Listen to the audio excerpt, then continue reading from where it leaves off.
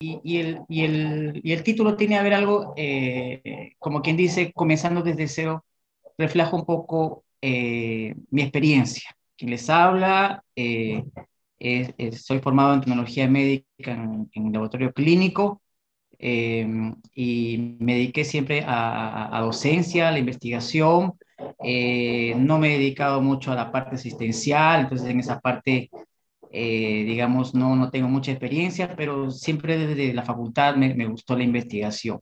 Y bueno, eh, los caminos de la vida me trajeron al Brasil, donde hice la maestría, eh, regresé a Perú y luego dije, me regreso nuevamente al Brasil para hacer mi doctorado, que fue una de las metas personales que, que tenía y que, que, por fin en algunos meses después de la defensa ya estaré cumpliendo, ¿no?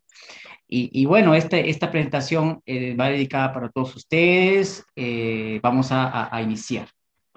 Entonces, eh, bueno, ya durante el curso, los diferentes expositores han tenido oportunidad de, poder hablar sobre los, los elementos. Inclusive ayer hemos escuchado la excelente ponencia del doctor Nogueda sobre los geoelmintos. Entonces, esta, este slide es simplemente para, para hacernos tener en cuenta eh, que una gran cantidad de la población hoy en día, mm, no solo de Latinoamérica, sino de, todos los otros continentes, están infectados por, por, por, el mintos, ¿no? Parásitos en general, pero sobre todo también por el mintos. Por ejemplo, el 24% de la población, prácticamente la cuarta parte de la población mundial, está infectada por algún tipo de geoelminto.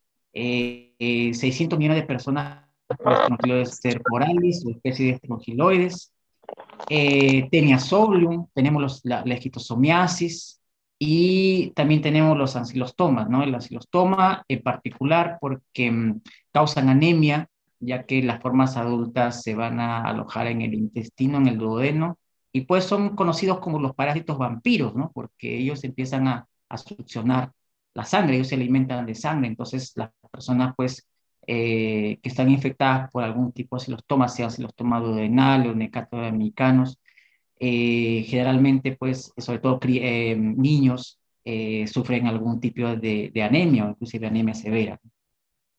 Estos son los elementos que ustedes ya han tenido oportunidad de, de, de tener varias exposiciones acerca de los diferentes elementos, ¿no? Nematodes, cesto, los trematodes, etcétera. Y eh, solo eh, esta imagen es para recordarles de repente un poquito em, en forma de un diagrama el ciclo eh, biológico, el ciclo evolutivo de un parásito que necesariamente hace un viaje a través de los tejidos.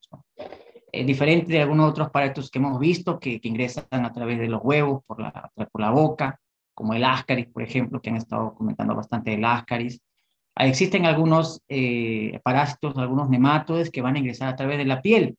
Y estos parásitos probablemente tienen un mayor desafío para poder sobrevivir y llegar al punto final, ¿no? Es como, como cuando uno hace una, una carrera, ¿no? Una carrera y tiene varios obstáculos. Entonces, solamente los más fuertes van a poder conseguir llegar a su destino, que sería el duodeno, ¿no? Ahí tenemos el ejemplo, las especies de estrongiloides, los ancilostomas, nipostróngilos y en algunos casos también el limosomoides.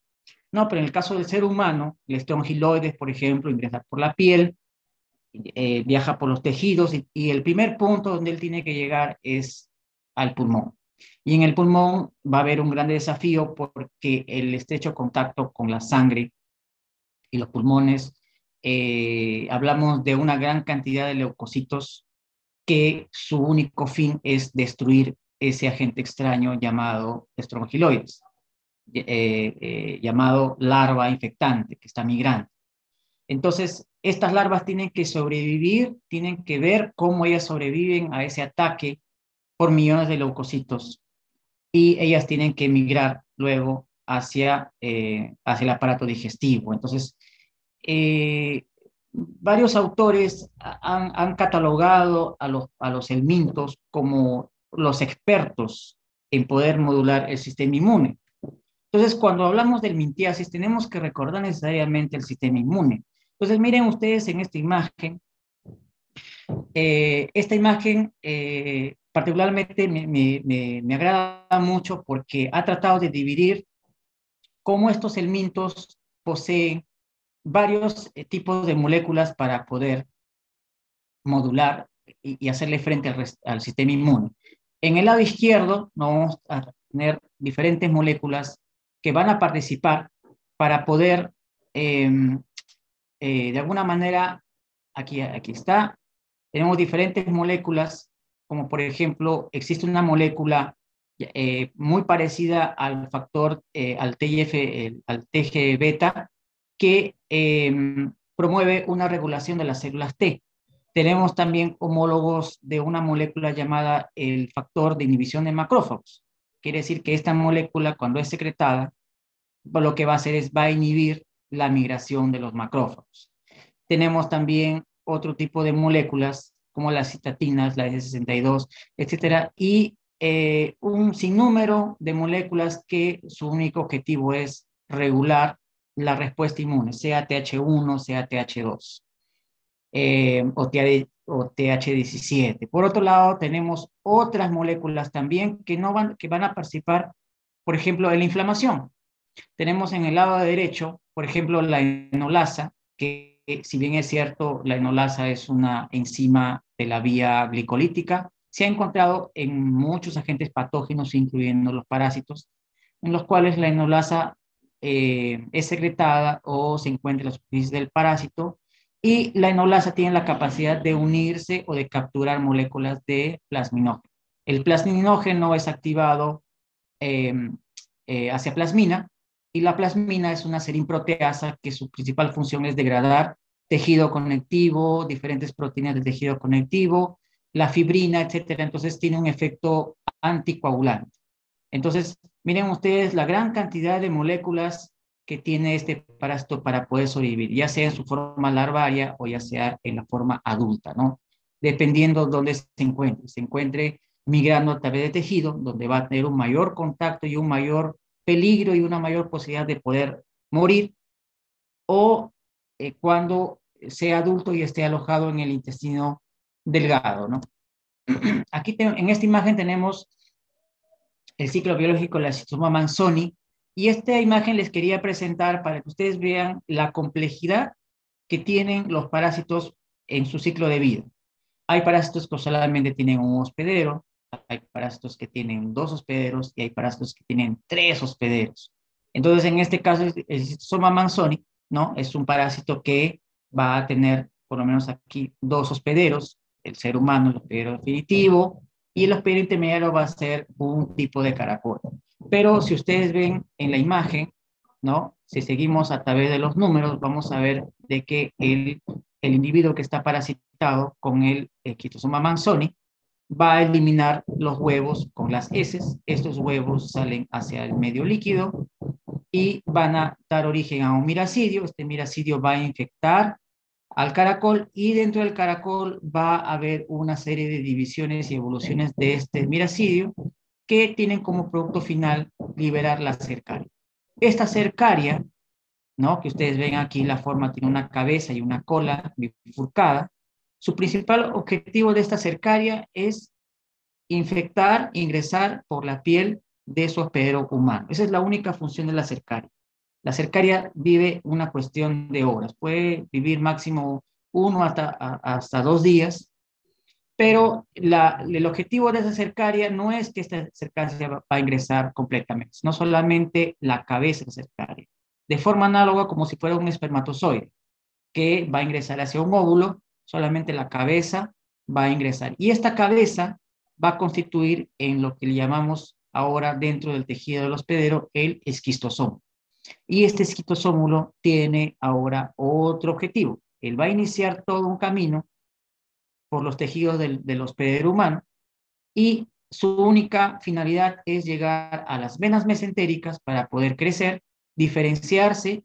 Hay algunos autores que inclusive eh, afirman de que existen cercarias macho y cercarias hembra. Esto no está totalmente confirmado porque eh, eh, de alguna u otra manera estos esquistosómulos van a, evolucionar como macho y hembra y estos se van a unir. Un macho va a buscar una hembra, se van a unir y van a estar en cópula permanente para siempre, o como quien dice, hasta que la muerte los separe. Entonces, esto es un ejemplo de la gran fidelidad. ¿Existen para estos fieles? Sí, existen. ¿Quiénes? Son los esquistosomas.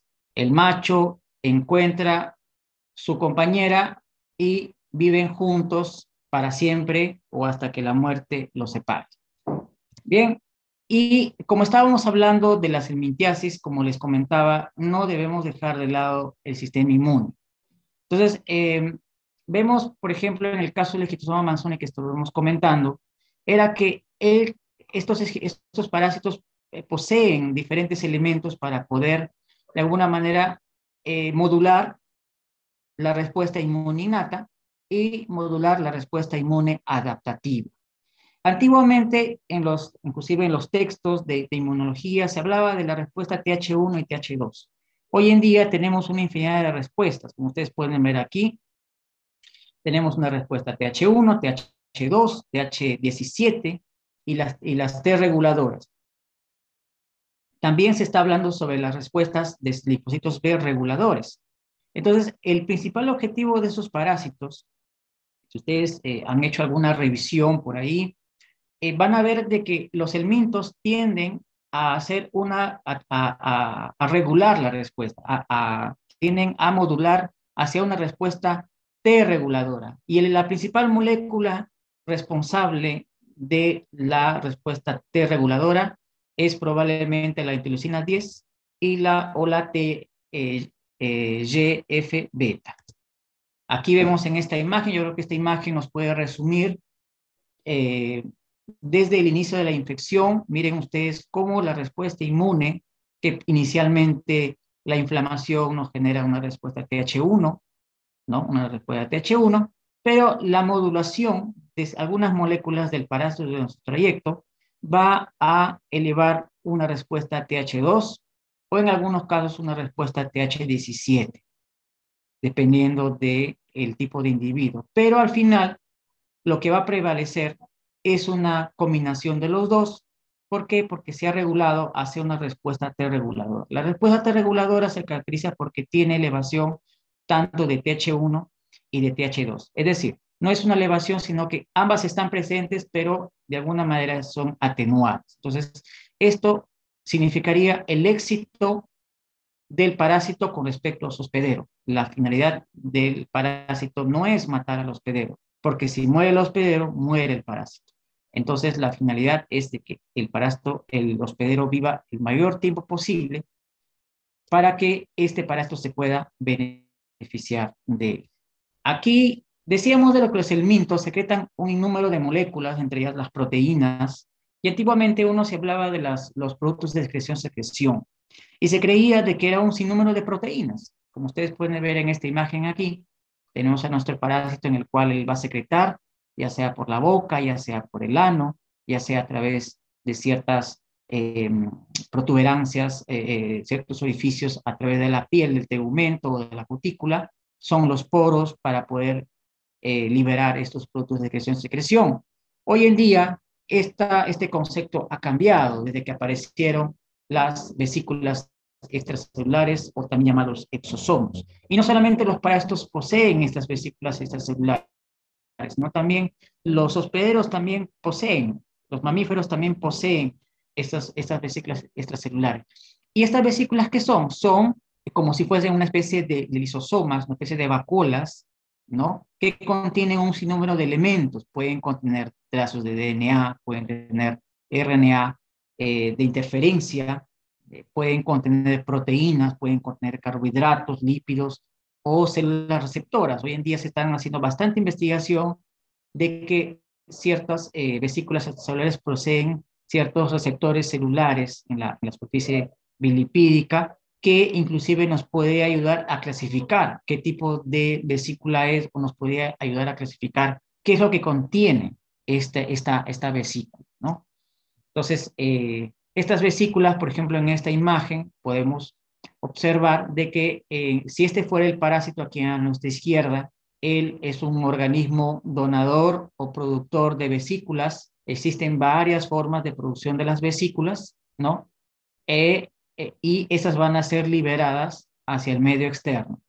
estas vesículas van a tener un receptor, en este caso va a ser la célula receptora del hospedero, que tiene varias formas también de ingresar, ya sea por una fisión de membrana, sea por una endocitosis, o sea por a través de un receptor específico. De, tal, de una u otra forma, estas vesículas van a ingresar hacia la célula hospedera, puede ser una célula endotelial, puede ser una célula de la epidermis, puede ser un leucocito, puede ser un macrófago, un eosinófilo, etcétera, y estos van a tener un fin, que es modular a nivel interno el, la maquinaria de esa célula para que el parásito pueda tener un éxito eh, durante su trayectoria o durante, durante su colonización. Aquí nuevamente tenemos otra imagen. Miren ustedes aquí la liberación de las vesículas que son internalizadas al hospedero y esto existen varias publicaciones de diferentes parásitos, sobre todo el mintos. Eh, si no me equivoco, la primera publicación que apareció sobre vesículas extracelulares fue en el año 2012. El autor Marcilla, en el cual él eh, reporta que los elmintos con fasciola, eh, equinostoma y otro más que no recuerdo, producen una, gran cantidad de vesículas. Inclusive, la, las vesículas, la cantidad de proteínas que están contenidas dentro de esas vesículas extracelulares, inclusive, sin más no recuerdo, ellos relatan que es aproximadamente o alrededor del 50% de las proteínas que uno se creía que eran de productos de secreción-secreción. Entonces, esto nos da otra, otro enfoque, nos generan otras teorías y la posibilidad de, estudiar y entender un poco más cómo los elementos pueden y han evolucionado de tal manera de que se han vuelto profesionales evadiendo la respuesta inmune.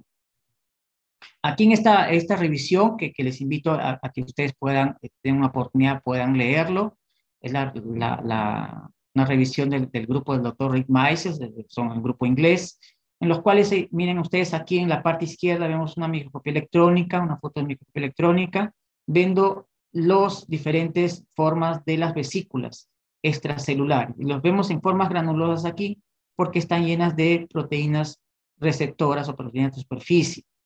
Ahora, lo usual es que el parásito en condiciones naturales de la infección va a liberar estas vesículas extracelulares va a tener su efecto en su célula blanco y va a tener un éxito en la infección. Pero esta revisión también resulta interesante porque ellos nos dan una hipótesis. Esta revisión genera la siguiente hipótesis de que si se han hecho en algunos estudios experimentales que si uno utiliza la vesícula extracelular como eh, molécula para, para como, si, como una futura vacuna, como un algo para poder inyectar al hospedero y generar anticuerpos contra estas vesículas, han encontrado de alguna manera una cierta inmunidad antiparasitaria. Y probablemente en el futuro se podría pensar, hablar sobre producir vacunas contra parásitos no a nivel de proteínas individuales o conjuntos de proteínas, sino internalizadas dentro de vesículas extracelulares. Bueno, todo esta, este background que hemos, hemos, hemos tenido ahora como introducción nos lleva al punto de que nosotros necesitamos entender nuestras, nuestros eh, organismos patógenos, necesitamos entender nuestros parásitos y cómo ellos actúan y cuáles son las moléculas clave que ellos utilizan para poder modular esta respuesta inmune, para poder eh, entender y poder generar ciertos mecanismos de eh, protección, ya sea como vacunas, ya sea métodos de diagnóstico para poder hacer una detección o diferenciación de estas especies de, parásitos y esto con esto contribuir a reducir el impacto de eh, las consecuencias del parasitismo en el mundo. Bueno, ya que hemos hablado un poco de los parásitos, vamos a hablar algo de, algo de, proteómica. Bueno, como eh, su nombre lo indica, la proteómica eh, sería un análisis eh, detallado, global o en, larga escala del el proteoma. ¿Y qué es el proteoma? El proteoma vendría a ser el conjunto de proteínas e isoformas. Pero la pregunta es, ¿por qué le llamamos proteoma? Es una especie de, digamos así, de jerga desde, eh, desde que apareció el término genoma. para llamar al, conjunto de genes eh, que un organismo tenía. Entonces, este genoma, como ustedes pueden ver aquí en la imagen, este genoma va a generar, va a tener genes que van a ser transcritos, y estos transcritos, se llamado de transcriptoma, y estos transcritos, muchos de ellos van a generar un producto de traducción llamado proteína, al cual le vamos a llamar proteón. Pero también estas, este conjunto de elementos también van a generar de alguna forma ciertos metabolitos, ya que si asociamos a las proteínas que participan en diferentes eh, ciclos o vías metabólicas, también van a generar diferentes metabolitos y hoy en día también podemos hablar de el metabolón, o sea, sea un lipidoma, por ejemplo, también tenemos un metabolón. Entonces, eh, es importante entender, ¿no? Siempre que el, flujo continuo va a ser a través del DNA, donde está contenida toda la información, y cuando la célula necesita, en particular, eh, activar una proteína, va a generar mecanismos para eh, transcribir ciertos genes, los cuales van a dar origen a las proteínas. Entonces, eh, hablando en términos técnicos, eh, el análisis proteómico va a depender de varios pasos, en los cuales aquí en esta imagen los estamos dividiendo en cinco pasos. El primer paso es tener la fuente de la cual nosotros vamos a obtener ese proteón. Entonces puede ser una célula, mamífero, puede ser diferente, un organismo, etcétera, puede ser un parásito en el caso de, esta, de esta exposición, un parásito, una bacteria, un virus, etcétera. Y esto vamos a, de alguna manera, tenemos que extraer sus proteínas. Estas proteínas pueden ser en solución, pueden ser a través de una electroforética, que es uno de los métodos más utilizados para poder hacer una, una fraccionamiento de estas proteínas a través de su peso molecular. Luego tratarlas, cortarlas con diferentes enzimas. Por ejemplo, la tripsina es una, tripsina es una enzima que eh, ampliamente se utiliza para poder eh, hacer este tipo de, digestión. Eh, algunos, em, algunos em, digamos, procedimientos especiales para poder hacer el estudio, como por ejemplo glicoproteínas, fosfoproteínas, algunos métodos de purificación, algunos métodos de enriquecimiento si uno está interesado en estudiar este tipo de proteínas.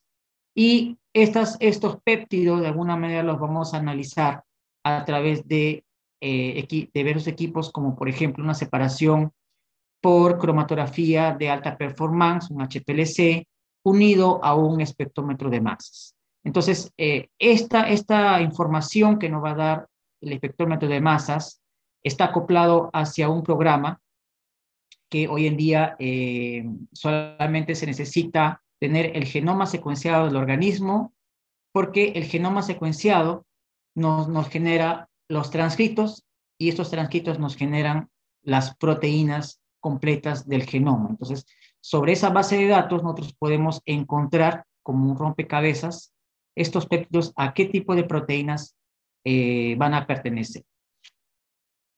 Entonces, viéndolo en esta otra imagen, Vemos aquí en un flujo continuo, como les había indicado aquí, ¿no? se hace una extracción de proteínas, estas proteínas eh, se hace, son digeridas en péptidos, estos péptidos se llevan al espectrómetro de masas, eso nos genera una información, este, eh, esta información nos lleva a encontrar la proteína. Y estas proteínas, eh, estas bases de datos de proteínas, como por ejemplo el UniProt, nos da un sinnúmero de informaciones de la proteína. Eh, en algunos casos la proteína puede ser conocida, en algunos casos la proteína puede ser homóloga por la similitud de la secuencia y, a otra proteína eh, muy parecida al hospedero, por ejemplo, o puede ser una proteína desconocida. En el caso que dicen, bueno, pero yo tengo una proteína desconocida, yo no sé qué cosa es. Sí, pero justamente la secuencia de la proteína o los dominios de la proteína, que son secuencias clave, nos pueden decir alguna información de esa proteína. La proteína no puede tener nombre, pero sí nos puede dar una, un indicio, que es, de repente tiene un dominio muy parecido con un inhibidor de tripsina, puede ser un dominio de repente muy parecido a una citoquina o, o, una inmunoglobulina, etcétera. Entonces ahí eh, diversos trabajos empiezan a darles nombres a las proteínas desconocidas, como las famosas like, ¿no? Las famosas trypsin-like protein, por ejemplo, una proteína parecida a la tripsina. Entonces, eh, eh, y, y, de alguna manera, la única finalidad del análisis proteómico es responder una pregunta. ¿no? Tenemos una pregunta y esa pregunta debe ser respondida. Entonces, para eso utilizamos todas estas herramientas para poder ver si respondemos a nuestra gran pregunta. Bueno, comenzamos con la obtención de las proteínas. Aquí en, esta, en este gráfico nosotros tenemos los diferentes elementos de un parásito. Por ejemplo, puedo tener huevos, puedo tener larvas, puedo tener el adulto. La forma como obtenemos esos huevos, esas larvas, esos adultos, existe un sinnúmero de publicaciones que ustedes lo pueden encontrar en Internet y eh, si partimos de, de, un producto puro, ya sea de huevos, larvas o adultos, podemos hacer una extracción. Y esto va a depender qué es lo que yo quiero estudiar a partir de, este parásito. Quiero hacer un, hacer un estudio total, entonces yo tendría que hacer un extracto total de ese parásito. No, yo quiero estudiar los productos de que son Yo quiero saber qué cosa está excretando, secretando este parásito. Entonces yo tengo que ver la, la forma de cómo mantenerlo in vitro por un tiempo determinado en la cual esta larva esté totalmente viable, ¿no? O simplemente yo quiero estudiar la cutícula o el tegumento, o en, en, pocas palabras, estudiar la superficie, ya que si, si nos podemos a pensar un poquito, la superficie del parásito, ya sea como adulto, como larva, es la que va a estar en contacto, en, este, contacto estrecho eh, con los tejidos del organismo. Entonces también resulta interesante estudiar la cutícula o el tegumento. Entonces, para estos casos, un estado total puede ser un estado soluble o un estado insoluble, ya que si nosotros hacemos un machacado de esta, de esta larva, por ejemplo, en esta foto, y luego centrifugamos a 10.000, 15.000 gravedades, vamos a tener un sobrenadante y un P. El sobrenadante constituirá mi extracto soluble y el P me, constituirá el extracto insoluble. Si en el caso de los productos de secreción tenemos proteínas secretadas por la vía clásica, ¿qué quiere decir esto? Las proteínas cuando son secretadas por la vía clásica, generalmente cuando son em, creadas o, creadas dentro de, de la célula, eh, ellos llevan un peptidio sinal. Este peptidio eh, señal es la que va a ayudar a esta proteína a ser secretada individualmente. Esa es la vía clásica. Necesita de una pequeña porción llamada de péptido para poder salir hacia el medio externo.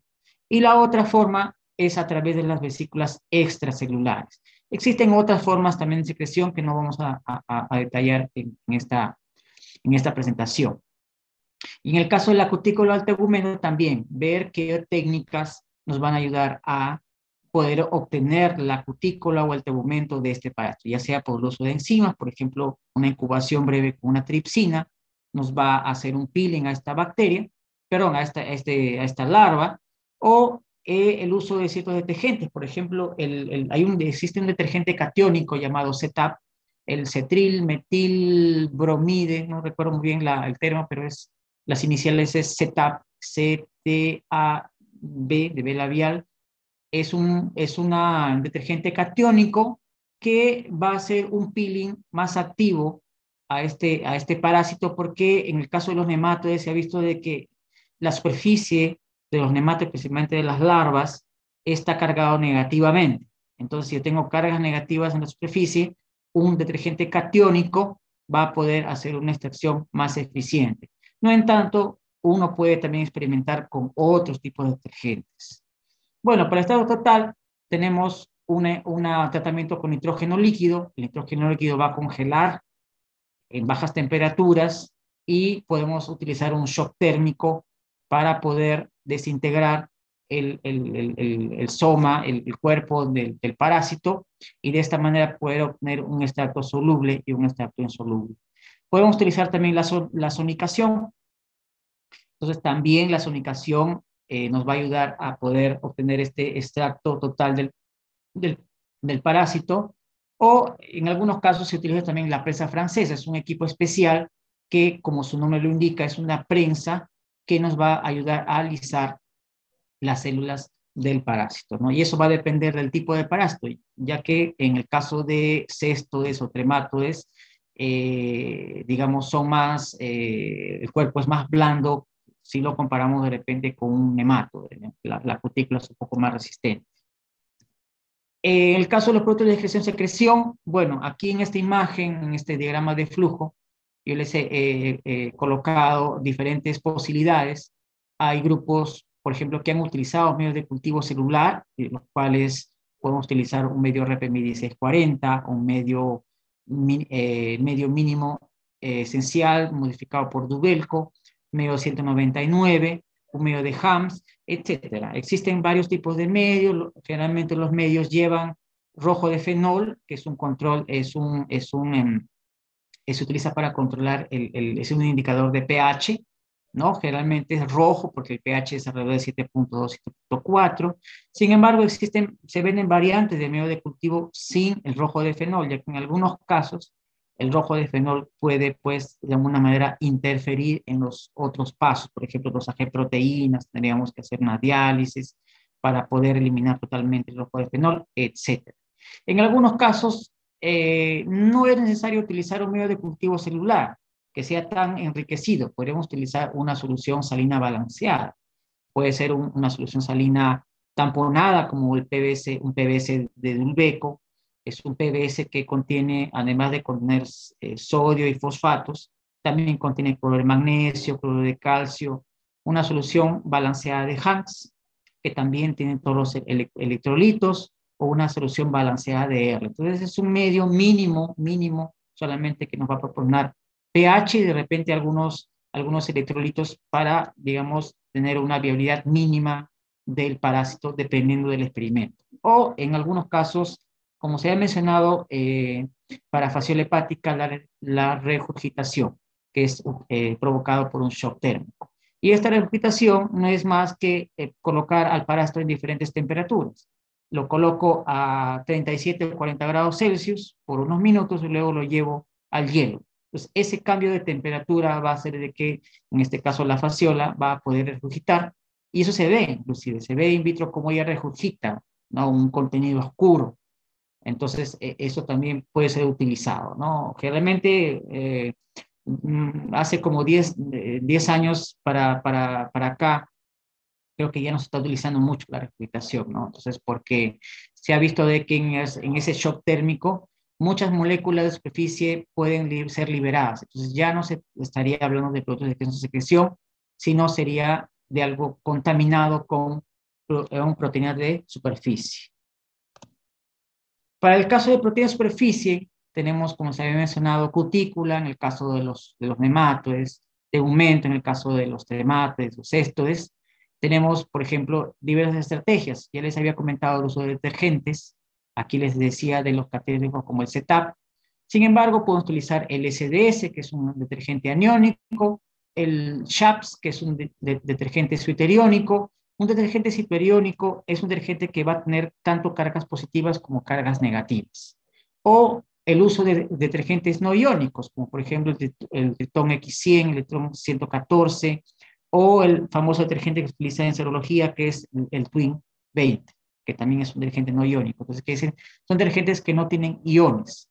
Entonces, la, la, acción va a ser más por el detergente, la acción detergente, la naturaleza química del detergente, de tratar de rescatar o extraer una proteína de la superficie. Tenemos también el uso de enzimas, como la tripsina, la colagenasa, la elastasa, que en varias publicaciones se ha observado el uso de estas enzimas para poder hacer un peeling eh, a la superficie de los parásitos y así obtener una, una fuente de proteínas.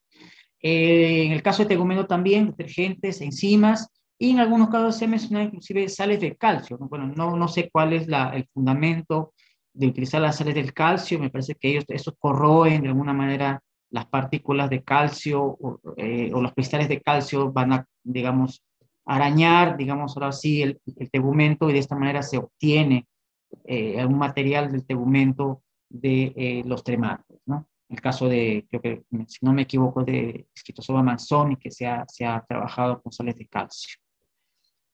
Bueno, una vez que tenemos nuestra proteína, una vez que tenemos nuestras proteínas que hemos extraído de una u otra forma, tenemos que, eh, tenemos dos opciones. O la analizamos en forma líquida, como habían visto ustedes en, el diagrama anterior, los diagramas anteriores, o hacemos un fraccionamiento a través de la electroforesis.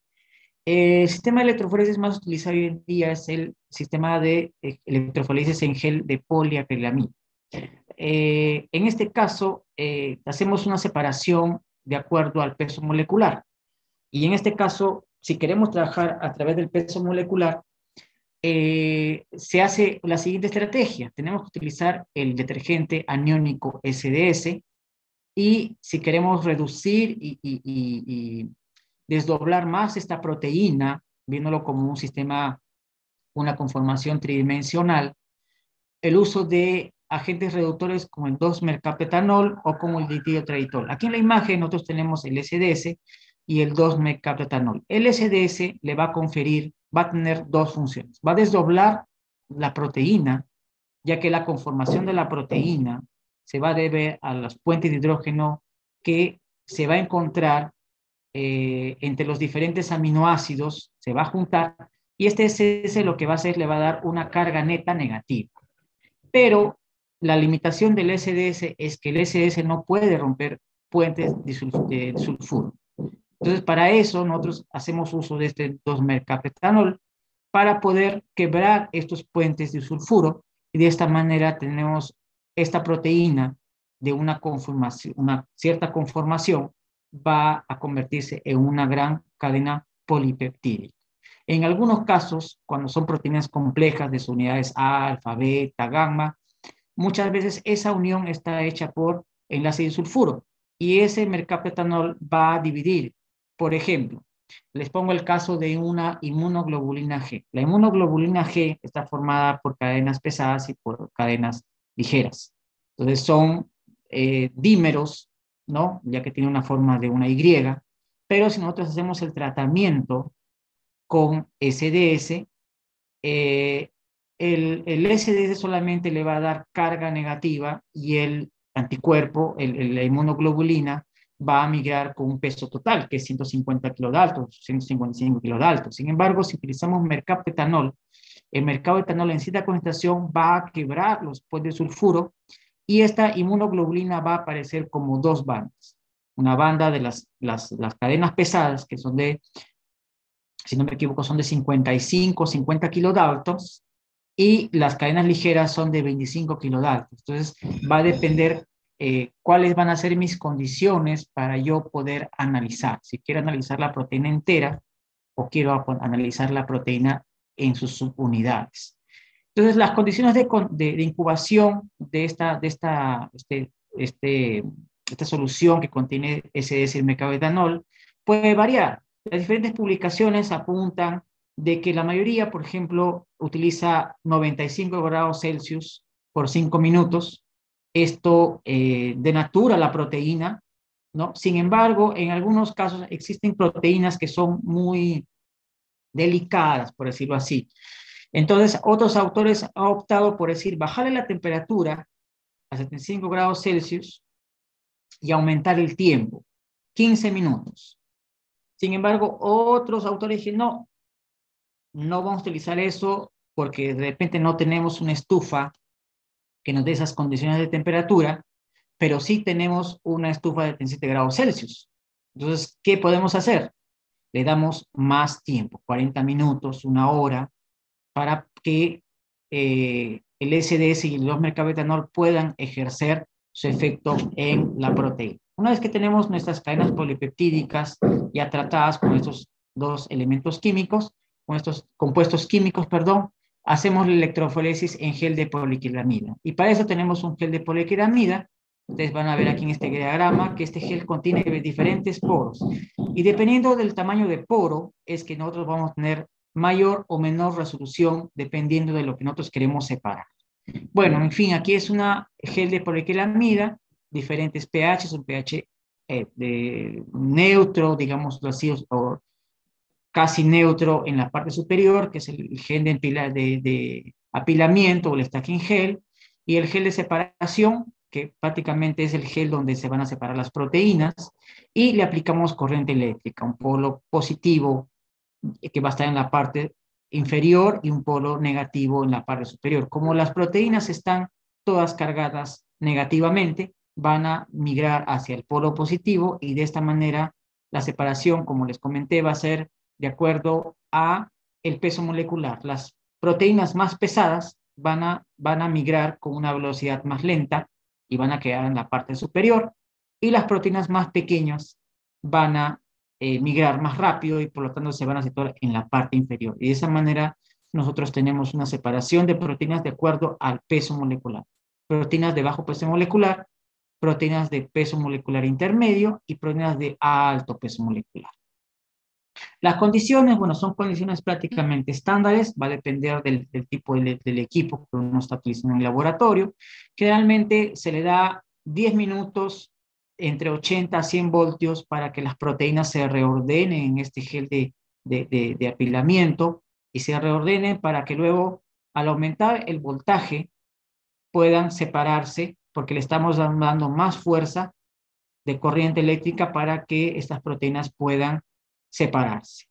Es obvio que le tenemos que dar un tiempo, porque entre más o menos entre una, eh, 100 minutos, 60 a 100, minutos más o menos es ideal eh, para separar las proteínas, pero eso va a depender del tamaño del gel. ¿no? Generalmente, hoy en día lo que más se utiliza son mini geles de la marca Biorad, de la marca Termo, etcétera. La mayoría son en formato de mini gel.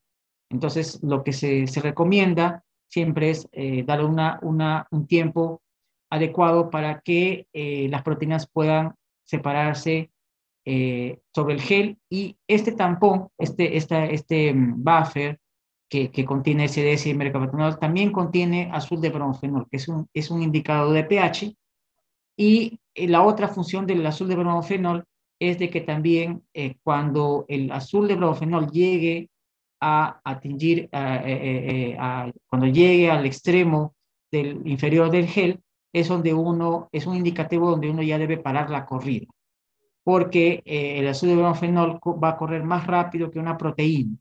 Entonces, eh, no debemos dejar caer el gel, o, por lo menos no dejar mucho tiempo después que haya caído el, el, el azul de bromofenol, porque si no, corremos el riesgo de, de perder proteínas de bajo peso molecular. Entonces, dependiendo del, tipo de, proteína que queremos estudiar, existen diferentes porcentajes de gel. Por ejemplo, aquí tenemos un gel de 6%, miren ustedes aquí, es, ideal para poder separar proteínas de alto peso molecular, 200, 100, 50, 75, bueno, 45 puede ser el, extremo. Si existen proteínas de bajo menores a 45, todas probablemente van a estar aquí y no, todavía no se han separado. Entonces, dependiendo de la cantidad o el tamaño del poro, es que nosotros tenemos que saber elegir la concentración de la poliquiamida, 8%, 10%, 12%. Pregunta, William, yo tengo una mezcla de proteínas y yo nunca he utilizado, no tengo idea de qué porcentaje de gel voy a utilizar. Yo les recomendaría un 10%. ¿Por qué? Porque el 10% eh, tiene una tendencia a separar muy bien las proteínas de alto peso molecular, mm, intermedio y bajo. Si por A tenemos una gran cantidad de proteínas de, bajo peso molecular, eso nos daría, eh, eh, los resultados de este gel de 10% nos daría la respuesta para decir si utilizamos 12, 14, 15% o si la cantidad de proteínas estaban aquí, entonces, eso no es indicativo de que tenemos que utilizar una de menor, 8 o de 6, que usualmente se utiliza entre 7 a 8% para pérdidas de peso molecular, de, alto peso molecular. Bien, una vez que hemos, hemos separado nuestras proteínas por electroforesis, tenemos que hacer electrotransferencias. En el caso que nosotros queremos eh, hacer el análisis a través de anticuerpos, es decir, hemos separado las proteínas, pero queremos saber cuáles de esas proteínas son antígenos, entonces necesitamos anticuerpos. Y en este caso, la fuente de anticuerpos puede ser el suero de un paciente infectado o un pool de sueros de pacientes infectados. Entonces, eh, las condiciones de transferencia, como ustedes lo ven aquí en, el gráfico, existe eh, todo un protocolo en forma de, de, sándwich, eso no vamos a detallarlo ahora, no es importante, pero sí es importante hablar sobre las condiciones de la transferencia. Eh, eh, es importante siempre seguir las recomendaciones del manual del, del, equipo que ustedes estén utilizando. ¿Por qué? porque ya se han dado casos en los cuales dicen, bueno, pero yo he visto en una publicación que han utilizado amperaje. El problema del amperaje es que el amperaje significa resistencia, y si yo pongo una resistencia constante, va a pasar lo mismo que en una ducha eléctrica. Si yo pongo una poca cantidad de agua y le pongo al máximo, en algún momento el agua se va a calentar tanto, la resistencia se va, vas a forzar la resistencia que con el tiempo eso va, pues se va a quemar. Entonces, eh, lo que se recomienda es voltaje constante, puede ser durante dos horas, en estos casos yo he utilizado bastante 100 voltios por dos horas, o en el caso que digan, bueno, William, yo quiero hacer mi transferencia, pero yo tengo un compromiso, tengo que salir y no me, voy no puedo quedar las dos horas. Muy bien, puedes tener la otra opción. La otra opción sería 30 voltios durante 18 horas, es decir, de un día para otro, lo dejas a 30 voltios y la transferencia va a ser más lenta, pero vas a lograr transferir las proteínas del gel a la membrana. Y cuando hablamos de membrana, puede ser membrana nitrocelulosa, que es la membrana eh, más utilizada, pero también se utiliza la de la membrana de PVDF. Particularmente, a mí, eh, a mí me gusta trabajar mucho más con nitrocelulosa. Bueno, cada, cada persona tiene su, su, eh, digamos, sus preferencias, ¿no? Caso, yo he trabajado con PBDF, actualmente trabajo con PBDF y, les digo que es un poquito fastidioso trabajar con PBDF porque el PBDF, si bien es cierto, es más resistente, no es tan quebradizo como la celulosa, las desventajas son varias. Que el PBDF, por ejemplo, es, un, es una membrana hidrofóbica, que para poderla activarla tengo que sumergirla en metanol. Y si por A me descuido y la membrana se seca, se vuelve nuevamente hidrofóbica. Tengo que volver a, hidratarla con metanol para que se vuelva hidrofílica. Entonces es, es un poquito fastidioso y, consume bastante metanol. Entonces, para los que de repente están en la duda si utilizo nitrocelulosa o PBD, les recomiendo mil veces nitrocelulosa porque es una, es inclusive para, para hacer eh, coloraciones de eh, nitrato de plata con nitrocelulosa para, para ver eh, el perfil proteico de, de, la separación de proteínas, para, para colorear el, el, padrón de peso molecular, etcétera, es excelente la nitrocelulosa. Bien, aquí tenemos finalmente el último paso del Western blot, que sería la inmunodetección. Aquí tenemos nuestra membrana, tenemos nuestra proteína que ha sido separada mediante electroforesis ha sido transferida a esta membrana. Si la proteína es un antígeno, va a ser reconocida por un anticuerpo primario presente en la muestra de suero, ¿no? Eh, y em, em, este a su vez se va a agregar una, un anticuerpo secundario, ¿no? Conjugado con una enzima. Generalmente hoy en día eh, la tendencia es trabajar con peroxidasa, sin embargo, tenemos anticuerpos conjugados con fosfatas alcalina, etcétera. Y eh, si nosotros estamos trabajando o queremos detectar anticuerpos IgG, es obvio que tenemos que utilizar anticuerpos anti-IgG o anti-IgM o anti-IgA o anti-IgE, dependiendo de eh, el, estudio, el tipo de anticuerpo que nosotros queremos detectar. Entonces se agrega un substrato, generalmente puede ser si es para peroxidasa, existen varios tipos de substratos para peroxidasa, por ejemplo, diaminobencidina, tetrametilbencidina, eh, y otros eh, alfa cloronaftol y el producto va a ser coloreado. ¿Cuál es la diferencia entre estos substratos que utilizan para las pruebas de Western blot y los substratos que utilizan para las pruebas de ELISA? Es que los substratos van a generar productos precipitables, es decir, donde hubo la reacción antígeno-anticuerpo, estos productos van a ser insolubles y se van a precipitar. Muy diferente de un ELISA en los cuales los substratos tanto el substrato como el producto son solubles. Entonces, esa es la, la, la, diferencia entre hacer un dote lisa o hacer un western blot, que utilizan eh, substratos que van a generar productos precipitados. Muy importante y no, no debemos olvidar de que antes de realizar el inmunizayo y antes de incubar con el anticuerpo primario, nosotros debemos bloquear los sitios libres de la nitrocelulosa que no contienen antígenos con alguna proteína bloqueante. Puede ser leche descremada, porque la leche descremada eh, tiene, la leche tiene proteínas, aparte de la caseína, tiene las, las, las famosas whey protein y diferentes tipos de, de, de, proteínas. Entonces, es lo más barato que se puede utilizar leche descremada. No puede ser de cualquier marca. Por ejemplo, aquí en Sao Paulo utilizan marca Nestlé, marca Carnation, marca La Vaquita, etcétera. Leche descremada, de ser posible. Sin embargo, yo ya he visto eh, grupos de investigación que utilizan leche semidescremada, porque a veces en el lugar no hay leche descremada o es muy caro, se puede utilizar una semidescremada, siempre en polo para diluir. ¿no?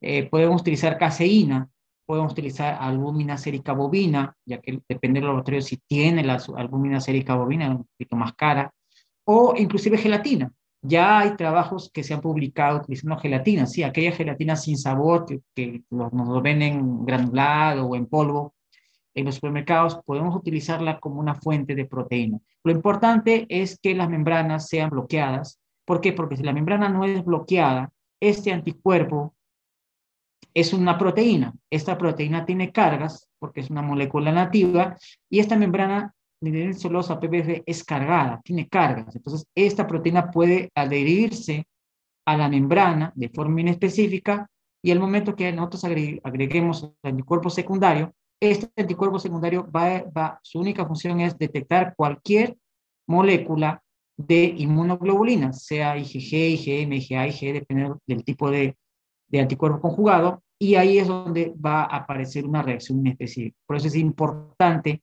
bloquear la membrana e inclusive utilizar como diluyente del suero y del anticuerpo conjugado la solución bloqueadora.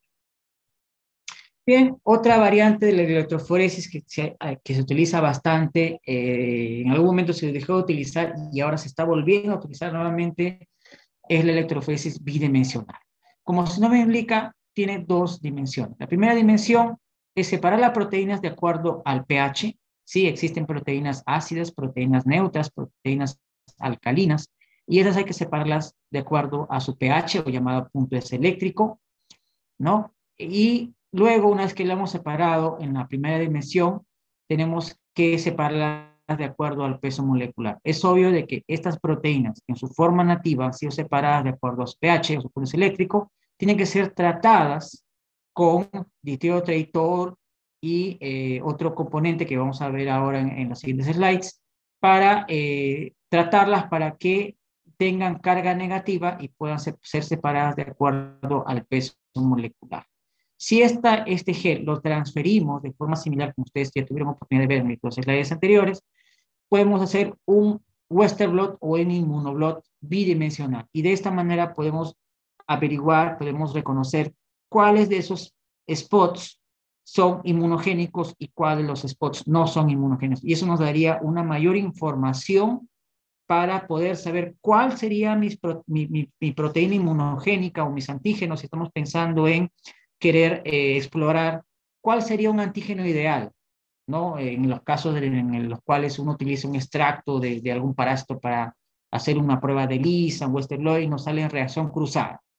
Entonces nosotros teníamos que analizar cuáles son las proteínas específicas de ese parásito y cuáles son las proteínas de reacción cruzada. Entonces, esta electroforesis 2D nos puede ayudar. Bien, una vez que hemos, hemos separado nuestras proteínas ah, mediante un gel o en el caso que hemos hecho una lisis o un fraccionamiento, una, una obtención de, de, la fuente de las proteínas del parásito, lo que tenemos que hacer el siguiente paso es hacer una digestión. La digestión puede ser en solución, ya sea del extracto directo, que en el cual hemos hecho separación, o eh, podemos nosotros cortar las diferentes bandas, ya sea a partir del gel, podemos cortar el gel en diferentes pedacitos o podemos de repente tenemos interés en esta banda de este peso molecular, yo quiero saber qué proteína es esta, nombre y apellido de esta proteína, entonces lo primero que voy a hacer es hacer una digestión. Entonces la digestión va a ser en solución o va a ser en gel.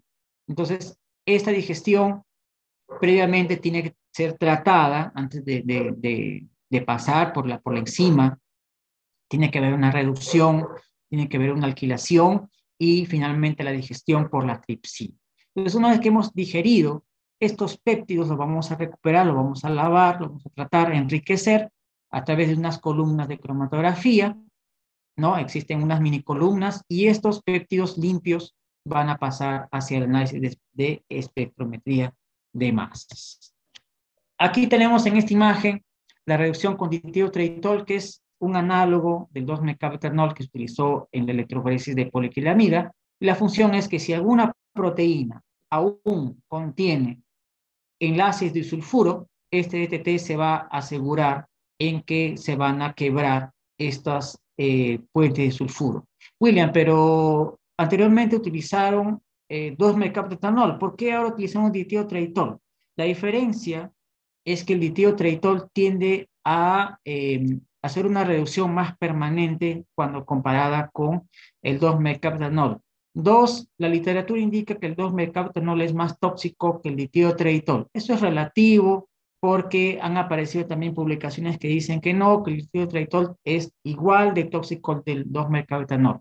En fin, no vamos a entrar en detalles, lo que sí vamos a proseguir es que una vez que hacemos la reducción con ditiotraitol, esta proteína tiene que, estos, estos enlaces SH eh, tienen que ser inactivados. Y los inactivados, alquilándolo con, aquí podemos ver, con el, la yodo acetamina. La yodo acetamina lo que va a hacer es va a bloquear estos enlaces SH, porque si nosotros no bloqueamos, de alguna manera estos enlaces se van a unir y van a formar nuevamente los enlaces disulfuro.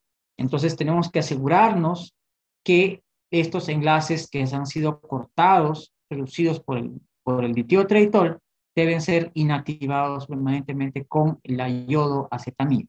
William, pero ¿por qué yo tengo que hacer eso? ¿Por qué yo no lo hago en forma natural? Tengo mi proteína y la infecto en su forma nativa y la infecto, y la infecto directamente con la tripsina. El problema es que la tripsina, en su, si, si nosotros echamos a digerir proteínas nativas con la tripsina, la tripsina no va a tener oportunidad de digerir totalmente a la proteína. Van a ver probablemente el núcleo interno, la parte interna de la proteína no va a poder ser digerida y lo, va a ser muy poco lo que vamos a tener de peptidios a partir de una proteína nativa. Entonces, es importante este paso de reducción y alquilación para tener cadenas suavizadas de la proteína, es decir, cadenas polipeptídicas. Llegamos al paso de la digestión enzimática. Muchos laboratorios recomiendan, y esto se ha vuelto ya eh, algo clásico, utilizar tripsina para poder digerir las proteínas. William, pero pregunta, yo, yo tengo una infinidad de enzimas, ¿por qué no puedo utilizar otras, otras enzimas a diferencia de la, tripsina? Ya les diré el por qué. Otra enzima que también se utiliza o que viene siendo utilizada es la quimiotripsina. ¿no? Eh, si ustedes ven aquí, la tripsina tiene una particularidad de que E va a reconocer, va a cortar o clivar enlaces donde haya arginina o lisina, pero en la parte C terminal. Es decir, si en mi secuencia yo tengo una arginina o lisina aquí, donde termina, es la parte C terminal, va a haber el corte por la tripsina. En el caso de la quinotripsina, va a ser en la región C terminal de fenilalanina, tirosina o triptófano, de forma más específica. Sin embargo, existe alguna literatura de que se ha observado de que la quimiotripsina también puede cortar en leucina, metionina e histidina. Ahora, estos tres aminoácidos, si no me equivoco, son aminoácidos apolares. Entonces, en ciertos casos, eh, o en, en, casos de proteínas que sean pobres en arginina y lisina, probablemente tengamos que hacer un, corte, una digestión enzimática con quimiotripsina. Porque si ustedes ven, tienen diferentes aminoácidos, son diferentes aminoácidos los, que, los blancos para estas enzimas. Entonces aquí en este ejemplo intermedio, vemos aquí la tripsina, va a cortar aquí, en la lisina, en la arginina, o en la quimiotripsina va a tener diferentes tipos. Si utilizamos dos tipos de enzimas al mismo tiempo, vamos a tener más cortes, pero también vamos a tener una chance de perder peptidios muy pequeños en los cuales eh, el rendimiento de peptidios de un tamaño adecuado para que sean leídos por, la, por el espectrómetro de masas va a ser menor. Y un eh, pobre rendimiento de peptidios ideales puede significar de que nuestro experimento de identificación de proteína se vaya al tacho. Entonces, es importante tomar en cuenta esto. Bueno, aquí tenemos un ejemplo de un polipéptido de 47, de 47 aminoácidos ustedes puedan ver aquí, algo más, ejemplo más práctico para que me puedan entender.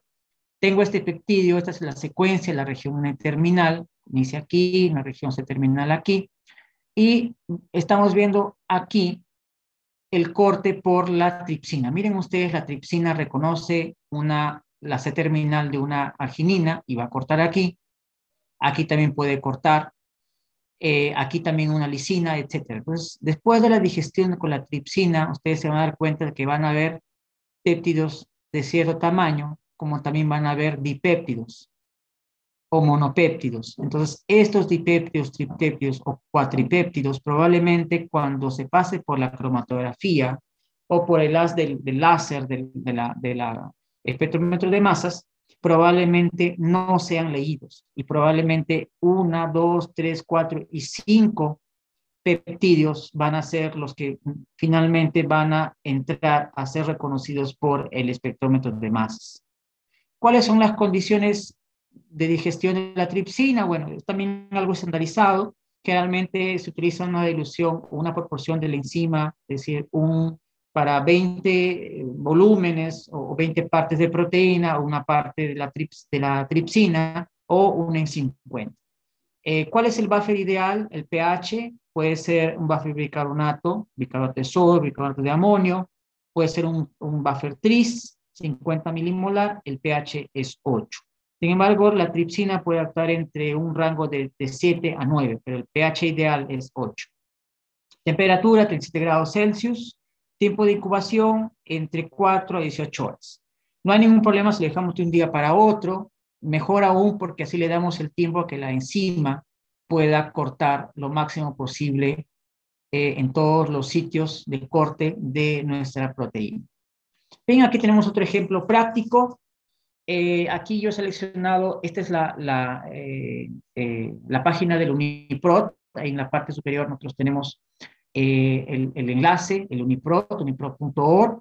Y eh, luego esto voy a mencionarles a ustedes más adelante, solamente voy a mencionarles aquí que yo he elegido una proteína al azar, por ejemplo, la crucipaína del Trypanosoma cruzi, que han tenido oportunidad de hablar de este parásito también, y yo voy a seleccionar esta proteína. Si yo quiero saber si mi tripsina o mi quimotripsina son ideales o van a ser ideales para poder generar buenos péptidos de esta proteína, entonces yo puedo hacer un análisis cínico y con eso también, cuando hablamos de proteómica, no solamente es trabajar en, esa parte que les comenté, es también tener una base, un background mínimo de bioinformática. Entonces miren ustedes aquí, yo ya tengo mi, en formato FASTA, mi secuencia de la crucipaína, aquí tenemos la metionina y aquí tenemos la parte eh, final. Sin embargo, eh, eh, si uno ve en la literatura, ven que la crucipaína es, producida como una proproteína.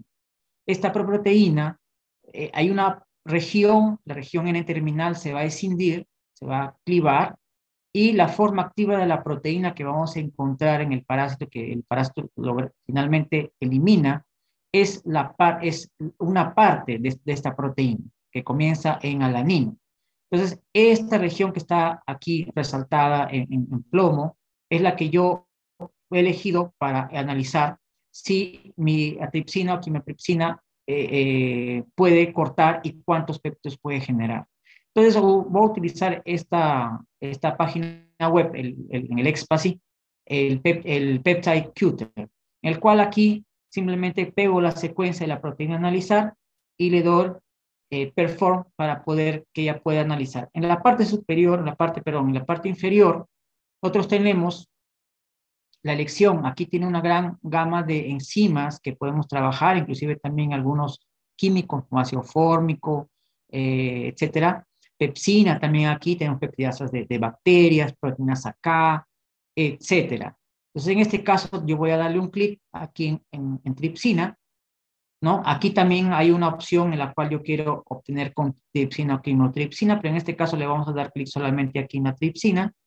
Y aquí podemos obtener, eh, podemos indicar cuál es la cantidad de aminoácidos que quiere que los resultados se presenten por cantidades de 50, de 100, de 70, 80, etcétera, y una tabla.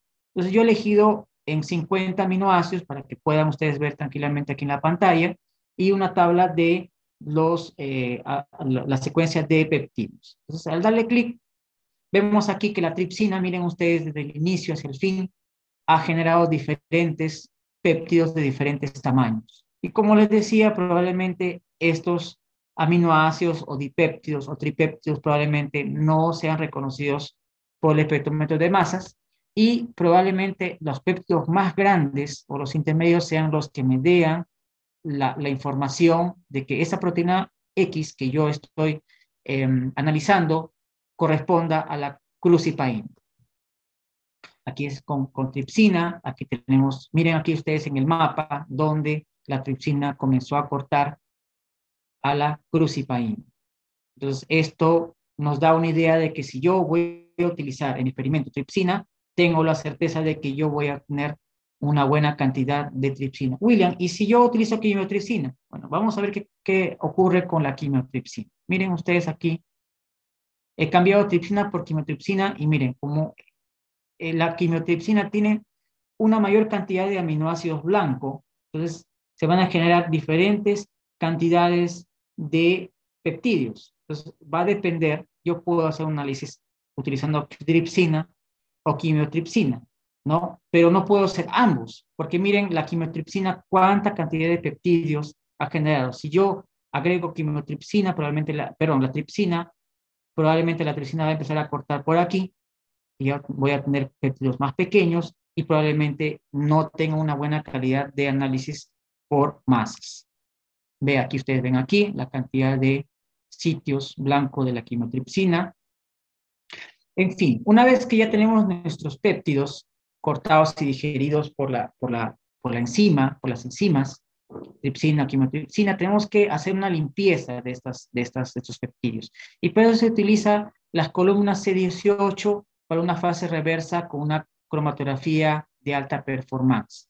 Entonces, esta estas, eh, columna contiene unas, unas, unas eh, pelotitas, unas, unas, eh, unas bolitas de una estructura llamada C18. Son estructuras obviamente, como su nombre lo indica, son cadenas de 18 carbonos que son altamente hidrofóbicas y estas van a tener la función de poder retener eh, compuestos hidrofóbicos o peptidos hidrofóbicos y separarlas de los peptidos hidrofílicos. Entonces, vamos a tener una cierta separación por hidrofobicidad y de esta manera podemos reordenar nuestros eh, nuestros eh, Sí. Eh, perdón, si nos das un momento, me parece que se paró la, la, grabación por parte de los compañeros.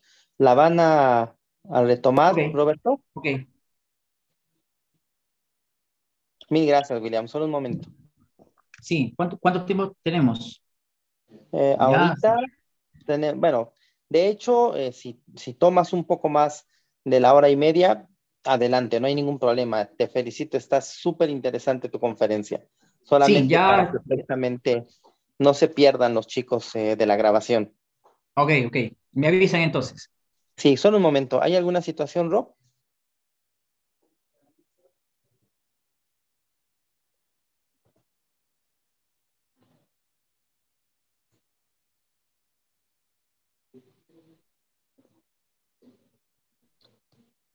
Roberto, doctora Diana.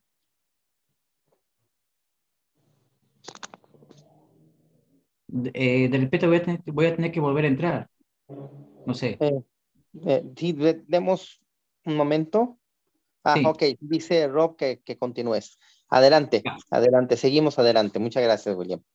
Listo. Eh, les comentaba de que una vez que nuestros péptidos, y además que tenemos nuestros péptidos, tenemos que eh, purificarlos, eh, limpiarlos a través de esta columna de C18, una parte importantísima para, para que estos péptidos puedan recién ingresar hacia nuestro equipo de masas.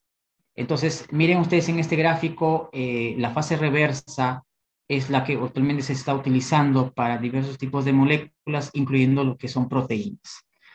Eh, aquí tenemos el espectrómetro de masas, ¿no? Eh, no vamos a entrar en detalles también porque es una cuestión, es algo extenso.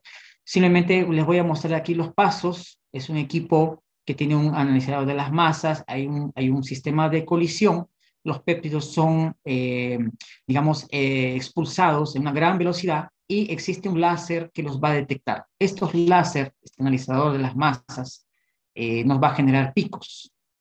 Este es el equipo en el cual, por ejemplo, este es un, es un, es un ITTOF eh, acoplado a un a, a una equipo de HPLC. Aquí está a la izquierda el equipo de HPLC y aquí a la derecha está el, lanzador de masas. Entonces, aquí se purifican o se reordenan los péptidos, los cuales van a pasar al, al equipo de las masas. Entonces, en el equipo de las masas les decía de que va a haber un, un, un expulsor de péptidos cargados eh, se necesita temperatura para poder cargarlos, estas, estos péptidos, y van a ser llevados hacia un láser que los va a, detectar. Entonces, dependiendo del detector, va a generar un, un valor, y este valor los vemos aquí. Entonces, dependiendo del, del valor, eso nos va a corresponder a un tamaño en daltons. Entonces, ya el equipo está calibrado para que si cierto tamaño en Daltons nos va a corresponder a cierta cadena de aminoácidos. Entonces, el equipo ya nos va a predecir cuál es la secuencia de aminoácidos. Entonces, lo que, lo que, vamos lo que nos interesa de estas masas no es analizar estos picos, esto ya lo dejamos para los químicos. Ellos, los químicos, este, ellos van a saber entender que la carga más, eso para nosotros no, no, no nos va a ayudar mucho, al contrario, nos, nos va a, a, generar conflictos, nos va, nos va a, a dificultar nuestra vida. Lo que nosotros debemos entender es finalmente qué es lo que nos va a dar. Aquí, por ejemplo, ustedes pueden ver de que los diferentes picos van a significar diferentes tipos de moléculas o una misma molécula, como ustedes ven aquí en el caso de las glicanas, pero que tienen diferentes moléculas. Mira, son similares, pero no son idénticas. Y eso va a depender del tipo de, de peso molecular, nos puede dar indicio a que van a ser variantes de un tipo de glicana. Bueno, finalmente ya tenemos nuestra hoja de resultados, es lo que en, mi caso eh, me entregaron a mí, me dijeron, bueno, William, aquí está tu hoja de resultados, hay una serie de gráficos que tenemos que ver aquí, bueno, eso no nos ayuda mucho. Aquí también tenemos más gráficos que nos van a decir la calidad del, producto, la, la, calidad, este, la forma de, cómo se ha hecho la lectura del masas, que tampoco me va me, va a, servir de ayuda. Lo que sí me va a servir de ayuda es eh, algunos datos, bueno, aquí el tipo de, de, corte con tripsina, quimotripsina, etcétera. Y eh, finalmente tenemos nuestra información. Finalmente tenemos nuestra información, nuestra base de datos. Y aquí nosotros tenemos los nombres de las proteínas. Es lo que ya realmente, finalmente nosotros tenemos nuestras proteínas aquí. Aquí, esta es la sesión, el código UniProt. Eso es lo interesante, que ya te el código UniProt. Y si uno entra con este código al sistema UniProt, nos va a dar todas las características de la proteína. Entonces, aquí nos da una serie de parámetros, por ejemplo, la, calidad em, de la proteína, o sea, cuánto de la proteína se ha cubierto, por ejemplo, aquí 16% de la proteína, por ejemplo, esta proteína aquí, indicada con la, con la flecha, es una enolasa, el cual me dice el peso molecular teórico, eh, cuántos péptidos ha, podido eh, identificar, cuántos péptidos únicos, ya que cuando hablamos de péptidos puede, puede ocurrir el caso de que existe una secuencia de péptido que es muy similar entre varias proteínas, pero existen también secuencias de péptidos únicas, que solamente esa proteína en particular la tiene, no lo tiene otra más. Entonces, aquí vemos eso y aquí, por ejemplo, tomando en cuenta este ejemplo de la enolasa, vemos aquí esos péptidos que les había comentado. Miren ustedes aquí, resaltados. Estos péptidos son los 1, 2, 3, 4, 5 péptidos que son únicos de la enolasa, en este caso del parásito Estrogiloides venezuelensis, le estoy mostrando yo parte de, mi trabajo, de la, de la tesis, aquí él ha podido identificar, aquí nos da una serie de parámetros, ¿no? características de los peptidios y, por ejemplo, en especial del péptido más representativo, que es este péptido de aquí, ¿no? Este de aquí que ustedes ven aquí, es el péptido en el cual en el gráfico nos está mencionando cuál es el pico. Eh, nos da un gráfico en lo cual cuando vemos picos rojos, van a significar que son picos válidos, picos de una lectura válida que es algo real. Cuando vemos picos negros, picos pequeños, inclusive pueden ser grandes, son una especie de ruido. Es como cuando uno hace un ELISA y, siempre va a haber una lectura de fondo. Entonces, esos picos negros es que el equipo está tratando de dar la mayor performance para hacer una lectura. Y en ese, en ese objetivo de dar mayor performance, él puede cometer errores y generar picos. Pueden ser residuos de alguna, algún químico, etcétera. Entonces, lo importante son los picos rojos. Entonces, aquí miren ustedes cómo, cómo cuando uno se hace miren la diferencia de esta, esta enolasa, que tiene cinco peptidios. Ustedes hacemos un enriquecimiento, de repente cortamos solamente la banda de la enolasa. Miren ustedes la cantidad de peptidios. 11 peptidios, inclusive hay péptidos que se, eh, se entrelazan, ¿no? Se entrelazan, ustedes pueden ver ahí en la tabla, tenemos péptidos que se van a superponer. Aquí, por ejemplo, ¿no? tenemos péptidos grandes, etc. Entonces, esta manera se ha identificado una enolasa de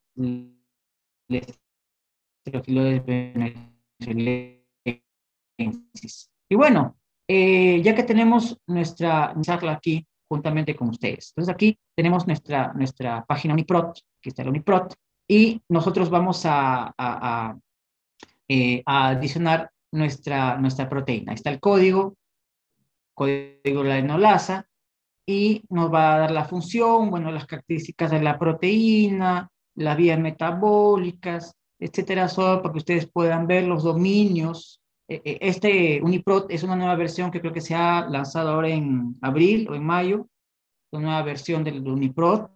Me da una serie de, características de, de, esta, de esta proteína, en este caso de esta enzima. Los nombres, miren ustedes, si ustedes recuerdan, eh, eh, eh, en la tabla se mencionaba una 2-fosfoglicerato hidroliasa. Sin embargo, ahora se le ha cambiado al nombre a fosfopiruvato hidratasa. son cosas que se van actualizando, pero yo les acá para ustedes les he resaltado en rojo que ese es el, nombre anterior con el que yo estaba trabajando y ahora lo han actualizado. Entonces, vamos a lo que nos interesa, vamos a, a la secuencia, porque de aquí lo que queremos saber es cuál sería la estructura tridimensional de esta enolasa. ¿Por qué no presentarlas a ustedes la, la, estructura tridimensional de la enolasa? Para esto, no necesitamos tener eh, programas avanzados ni programas que necesitamos pagar. ¿no? Hoy en día existen todo gratuito en los cuales nosotros podemos hacer nuestro análisis, ¿no? Como quien dice, para alguien que comienza de cero. Entonces ahí nosotros hacemos, eh, eh, bajamos la secuencia en formato FASTA, Aquí también en la imagen tenemos en la flecha de color rojo, está indicado la fecha en la cual ha sido depositada esta secuencia y la flecha roja nos da eh, un link para ir hacia el genoma del, parásito. Eh, entonces aquí tenemos nuestra secuencia en formato FASTA y eh, hay que tomar en cuenta que si es una proteína secretora, tenemos que eliminar el, peptidio, el, el, el señal, porque si no estaríamos construyendo, modelando una proteína. Bueno, en este caso, como la enolasa es una enzima que no tiene peptidiocinal, entonces eh, la podemos modelar directamente. ¿no? aquí cogemos eh, BLAST, pero antes de esto, se me olvidaba, eh, vamos a hacer un análisis BLAST. El análisis BLAST es para ver cuán similar existe esta enolasa como otras especies, en este caso con parásitos. ¿no? Entonces vamos a hacer un análisis BLAST con otros elementos. Entre es esto, es telemato. Entonces hacemos, damos un clic en Tools. Ustedes ven ahí en la parte superior aquí, Tools, hacemos, damos un clic y ahí nos aparece una barra aquí de diferentes eh, eh, herramientas, le damos Blast. No necesitamos ir hacia el programa propio Blast, sino que el Unicpro ya tiene su propio programa Blast.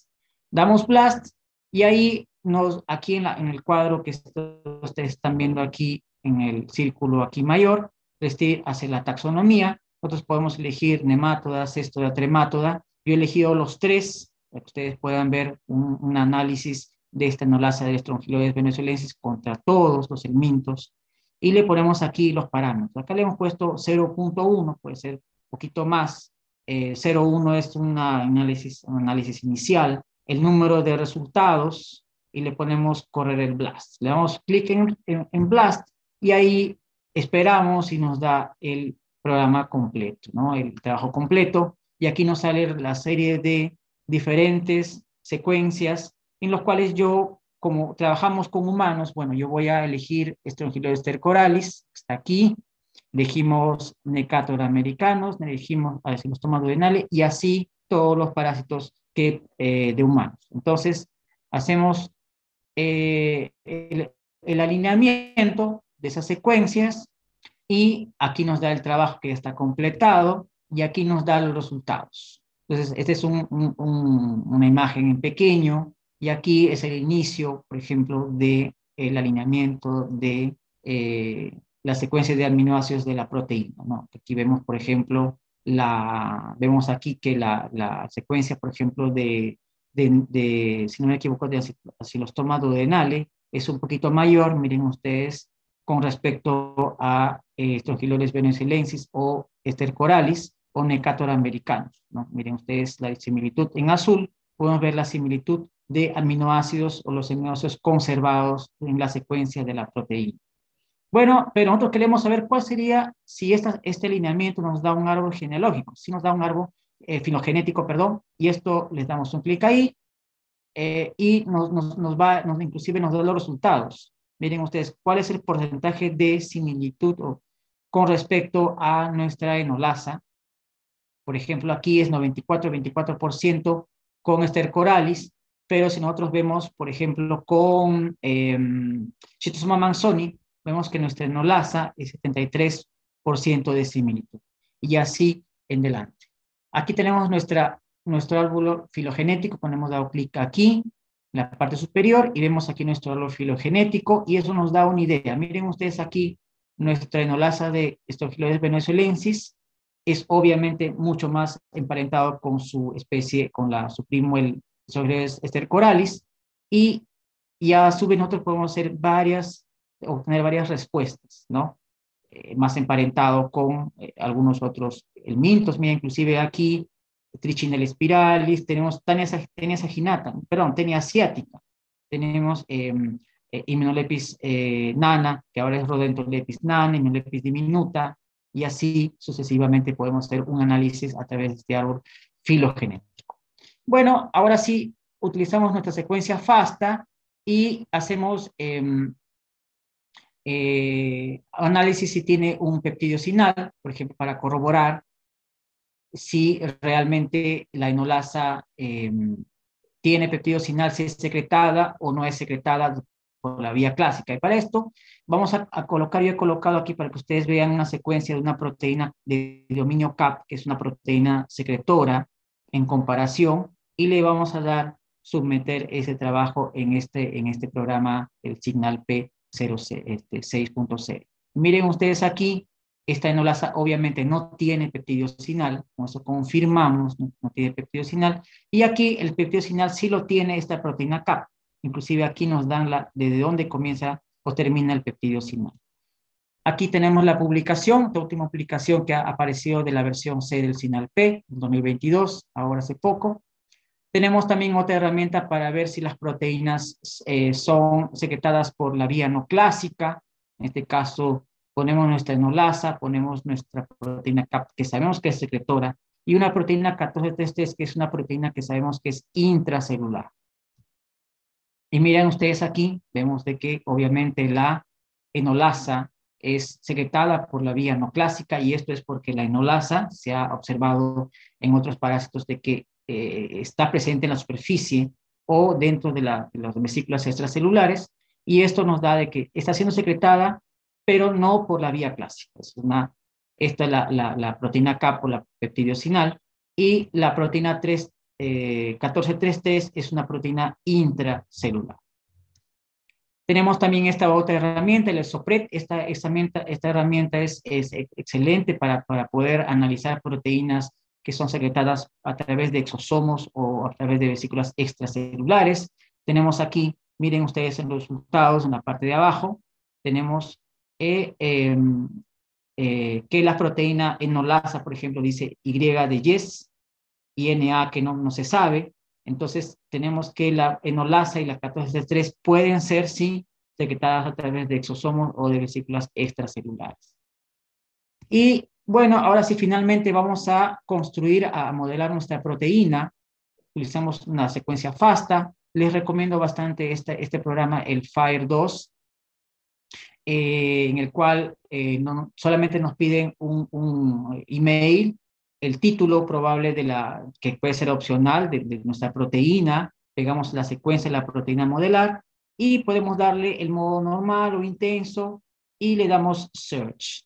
Entonces, al darle search, la proteína, miren aquí ustedes está la proteína que ya hemos ingresado, va a empezar a hacer eh, la construcción de nuestra proteína y finalmente los resultados son enviados al email. Aquí ustedes ven la, el print de, mi correo electrónico.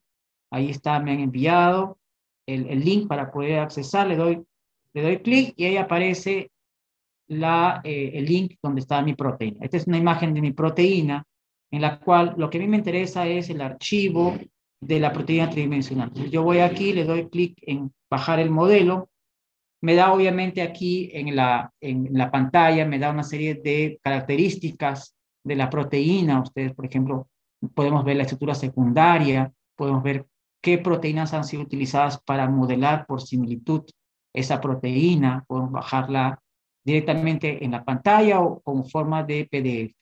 En este caso, esta es la estructura secundaria. De ese puesto yo he cortado esa imagen para que ustedes puedan ver la estructura secundaria de la proteína, la enolasa de Streptococcus venezuelensis. Y aquí, eh, bueno, yo tengo mi archivo, pero ¿dónde lo voy a ver? Yo les recomiendo esta página del Swiss, el, Swiss eh, Protein, ¿no? El PDB, el Swiss PDB Viewer, ¿no? que es totalmente gratuito, es para sistemas de, de, Windows o MacOS también. Eh, bueno, yo en mi caso yo tengo Windows, así que también hay una versión para Windows. es un programa que no pesa mucho, alrededor de unos 45 megas. Eh, se puede tranquilamente, lo puede, ustedes lo pueden bajar y tenerlo en su, en su pantalla, en la, tela de su computador, de su laptop, notebook.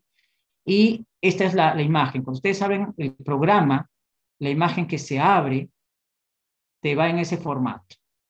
Ese formato, bueno, no se ve mucho porque es el formato de la, estructura química de la proteína, pero si le damos unos parámetros, eh, podemos tener este, esta otra forma, ¿no? la cual ya tenemos de formas alfa hélice, beta plegada y los, y los conectores.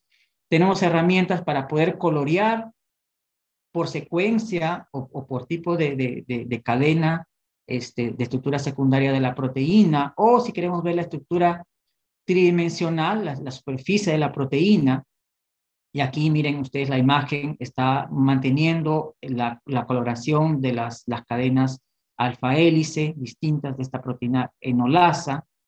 Aquí también en este formato, en formato de bolitas, también para poder ver nuestra enolasa. Y bueno, la pregunta es, ¿esta enolasa es inmunogénica? Yo, digamos, estamos interesados en saber si es que yo puedo eh, utilizar esta enolasa. ¿Es inmunogénica? ¿Cuán inmunogénica es? Pero yo no tengo un anticuerpo. ¿Cómo hago? Bueno, existen herramientas que pueden predecir, dependiendo de la estructura de la proteína, decir qué regiones son más antigénicas que otras.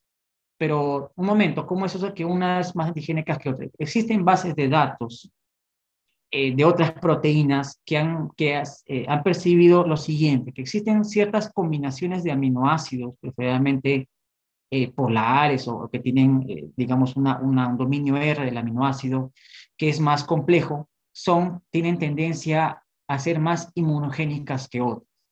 Entonces, una de las herramientas que yo les recomiendo bastante es, es inclusive esta, esta herramienta excelente de la, de la UNAM de México, la cual yo, me, ha, me ha ayudado bastante, bastante para poder analizar mis proteínas, y es, por, es calcular el, el, el, eh, el, digamos, la densidad antigénica de mi proteína. Miren ustedes aquí, si yo pongo la secuencia FASTA de mi enolasa y le pongo submit, me va a dar un valor, me va a decir cuál es la longitud, cuántas regiones antigénicas tiene y cuál es el valor de densidad antigénica. Yo le doy un clic en el, en, el, en, esta, en el output y me va a salir las regiones. Estas regiones marcadas con E significan que son antigénicas o son epítopes, E de epítope. Entonces, estas regiones de aquí que estoy viendo son potencialmente o altamente antigénicas. Tienen una gran probabilidad de ser reconocidas por anticuerpos. Entonces, son epítopes de linfocitos B, que les llaman, ¿no? Pero en realidad lo que quiere decir que son epítopes probablemente o muy altamente reconocidos por anticuerpos. Tenemos también otra versión que es la BPPRED 2, que también tiene el mismo, la misma función, reconocer epítopes. Y también tenemos esta otra opción, la ELIPRO, que yo recomiendo bastante si ustedes tienen el archivo PDB de la, de la proteína tridimensional, la que hemos obtenido nosotros de la enolasa. Esta, esta, este análisis que también es gratuito, podemos eh, ver inclusive los, eh, los epítopos eh, en forma tridimensional. Miren ustedes aquí tenemos la secuencia y aquí tenemos los diferentes péptidos lineares y más abajo también tenemos los péptidos conformacionales. Entonces, en el caso de que nosotros queramos decir, bueno, William, eh, yo no tengo dinero para hacer una, una proteína, eh, es muy grande, de repente una proteína de 100 kilodaltos, pero yo sí tengo la opción de querer hacer peptidios, péptidos sintéticos, péptidos de 10, 12, 20, 20 aminoácidos, lo puedo hacer. Sí, entonces, en esos casos sí sería interesante analizar epítopes lineares, porque eso nos va, nos va a ayudar a poder diseñar en el futuro péptidos sintéticos antigénicos. Entonces, miren ustedes, aquí vamos a darle un clic en el primer péptido. Aquí le damos un clic y al darle clic nos va a generar esta, esta estructura. Miren, la estructura tridimensional y aquí está la imagen de, este péptido de 16 aminoácidos, perdón, de 18 aminoácidos. Vamos a ver otro, otro péptido, por ejemplo, el primer péptido del 1 al 13, que dice que también es antigénico, le damos clic ahí, y nos sale, miren, este péptido. Entonces, esta, esta, esta herramienta ya nos da otra mayor información porque podemos ver a nivel tridimensional. No es necesario que nosotros tengamos una, la, la, un, un, programa para ver en forma tridimensional la proteína, porque ya viene acoplado ya un, un, un programa dentro de, esta, de este site para poder ver en forma tridimensional esta proteína. E inclusive, ah, bueno, aquí son prints pero en la página les da la función de que pues, ustedes con el mouse pueden rotar la, la, proteína, darle diferentes rotaciones para poder ver en mayor detalle la proteína. Bueno, yo he elegido un epítope de la enolasa, eh, que es esa la que ustedes ven ahí, es una, un epítope de nueve aminoácidos, ¿no? Un MRDG DKAVH, y la vamos a ver en nuestro programa del Swiss PDB Viewer. Entonces aquí Volvemos a nuestra imagen de la enolasa que habíamos visto anteriormente. Y aquí, en la parte derecha, en el, control del panel, yo he seleccionado mi proteína aquí y la he coloreado de rojo.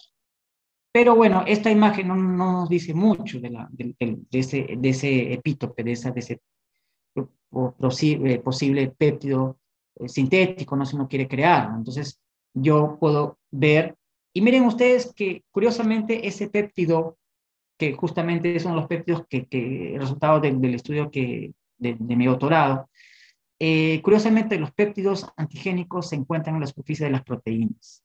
Y esto nos lleva a, que existen ya desde los años 80, empezaron a aparecer publicaciones que han encontrado de que muchas de las proteínas antigénicas se encuentran justamente en la superficie. Y esto, estas, estas publicaciones, les presento dos publicaciones, las que han dado origen a estas herramientas de péptidos lineares. ¿No? Entonces, eh, esto nos, estas dos publicaciones, si bien es son los años 80, nos dicen de que curiosamente los péptidos antigénicos o las regiones antigénicas son mayormente en la superficie. ¿Por qué? Porque las proteínas están en su forma nativa que van a interaccionar con los linfocitos B, con los macrófagos, y sobre todo los linfocitos B, que el linfocito B también puede actuar como una célula protectora de antígeno, también puede reconocer, entonces va a reconocer a la proteína en su forma nativa. Miren ustedes ahí, si yo selecciono y apago toda la otra estructura y me quedo con, con el péptido antigénico, ustedes pueden ver aquí de, del número 49, miren, esa sería la estructura de mi epítope antigénico seleccionado. Y como tiene nueve aminoácidos, yo puedo construirlo en un equipo que hay, existen equipos que, eh, lo que hacen es unen aminoácidos para construir péptidos sintéticos. Si yo le quito la, la, cadena R a estos aminoácidos, miren, tiene una función también de quitar la cadena R, yo aquí simplemente apago aquí con el mouse, miren ustedes, aquí apagué y aquí bueno, vamos a ver la cadena raíz, ¿no? La cadena raíz de este péptido. Bueno, para finalizar, vamos a tener un, ejemplo aquí. Ejemplo, eh, he, cogido, decidido coger esa, esa publicación eh, de un eh, análisis proteómico, un proteómico de Tequinella spiralis, que han sido reconocidos por, por sueros de, infecciones tempranas. Entonces aquí ellos mencionan que han, han reconocido 64 proteínas inmunogénicas que han sido reconocidas por, por, los, por los sueros, y los cuales ellos han, han de todas esas proteínas han seleccionado la proteína 1433, que dice que ellos han, eh, aquí ellos mencionan que han, han, obtenido un, un, reconocimiento fuerte por, por los, los sueros de eh, los pacientes infectados. Entonces vamos a ver esta, esta, esta información. Mira, aquí tenemos la imagen eh, de electroforesis 2D del, extracto de, de, de Trichinella spiralis adulto, miren, una gran cantidad de spots, cada spot probablemente sea una o dos proteínas juntas o, una proteína en mayor cantidad. Entonces, pero a nivel de proteínas no nos dice nada. Lo que nosotros queremos saber y como queremos ver la parte inmunológica, queremos ver cuál de estas proteínas es, es inmunogénica. Entonces hacemos un Western blot 2D, la transferimos a una membrana y obtenemos nuestro Western blot. Aquí los autores han encontrado y lo que han hecho es han cortado, han, identificado esos spots que han sido reconocidos por anticuerpos, los han cortado y esos pedacitos de gel, esas, bolitas de gel, los han digerido y los han analizado por masas. Lo que han encontrado son 64, son 64 proteínas, ustedes ven aquí las diferentes proteínas toda la, aquí ellos, hacen una tabla eh, viendo el porcentaje de reconocimiento, etcétera, las diferentes características de, cada proteína, los nombres sobre todo. ¿no? Aquí tenemos todas las 64 proteínas. Y aquí finalmente tenemos que la, el spot 60 y 61 corresponden a la proteína 1433. Entonces, si vemos aquí, aquí, el spot 60 y 61 corresponden a la 14333. Entonces, aquí, eh, esta imagen es que eh, existe algo interesante, ¿no? Los, que les gusta de repente jugar un poquito con, con, los programas de Excel, con los programas, existen programas de gráficos, los cuales si uno eh, también utiliza la información del punto es eléctrico, es decir, el pH de la proteína y el peso molecular, uno puede asemejarse también. En algunos casos, si las proteínas, las proteínas no son glicosiladas, no tienen em, eh, modificaciones post-traduccionales, uno puede asemejar, ¿no? Puede llegar a predecir inclusive, miren ustedes la distribución, cada punto es una proteína. Miren ustedes, se parece mucho con esta proteína, ¿no? Entonces, claro, no, no podemos hacer inferencias en este gráfico, porque aquí asumimos que las proteínas son eh, núcleos, puede ser que una de las proteínas tenga glicosilación y esa glicosilación le puede dar un peso adicional. Entonces, eh, existen publicaciones que utilizan ese tipo de, gráficos que muchas veces eh, no podemos hacer inferencias exactas acerca de, la posición de la proteína, pero sí nos puede ayudar en algunos casos, por ejemplo, proteínas de bacterias que no son glicosiladas, nos puede ayudar sí para poder presentar eh, el gráfico y hacer una distribución de las proteínas identificadas, ¿no? Entonces aquí nuevamente en el gráfico vemos nuestra proteína 1433 y estos autores finalmente decidieron utilizar esa información para hacer una proteína recombinante.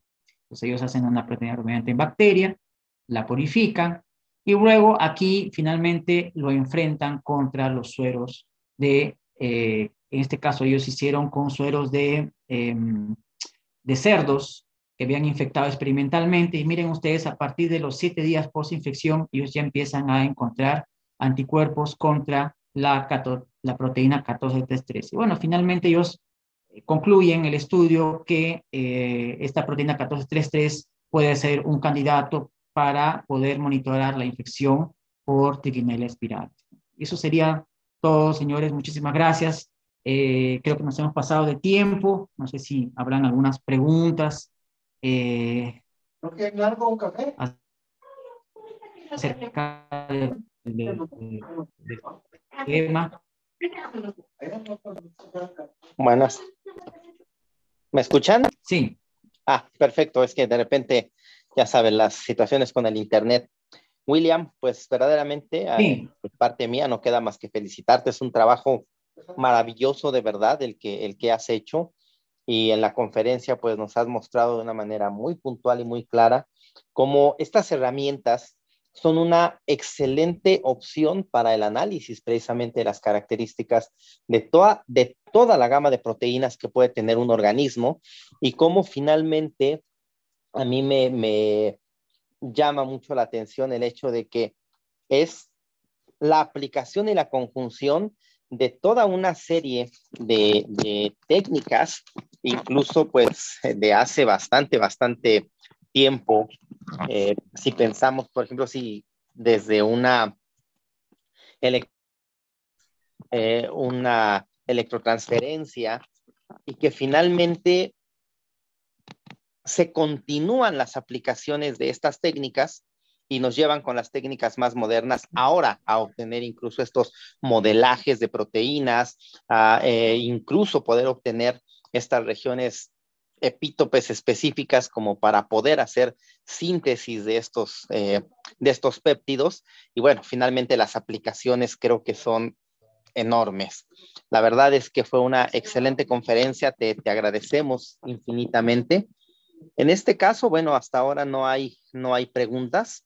Creo que ha sido bastante, bastante claro y finalmente eh, las aplicaciones son las que nos dejas ahí, ¿no? Como ese eh, poquito que yo creo que en realidad, eh, bueno, contamos entre los asistentes con muchos profesores, con muchos investigadores en otras universidades y creo que, bueno, ahí les estás dejando de una manera muy clara y muy concisa, abierto, ¿no? Finalmente la posibilidad para nuevos estudios y nuevas herramientas.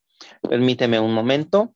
Eh, mira, hay una pregunta de Elvia Gallegos. Dice, las vesículas extracelulares de helmintos pueden ser utilizadas para modular, eh, por ejemplo, colitis ulcerosa, la respuesta inmunitaria en enfermedades autoinmunes. Eh, sí, existen, existen estudios, aquí justo también estoy viendo las, preguntas. Eh, sí, existen estudios que, eh, los elementos pueden modular la respuesta y, existen varios, trabajos que, se han, que han mostrado de que, por ejemplo, curiosamente, las personas que son infectadas por parásitos, por elementos, curiosamente no sufren de alergias.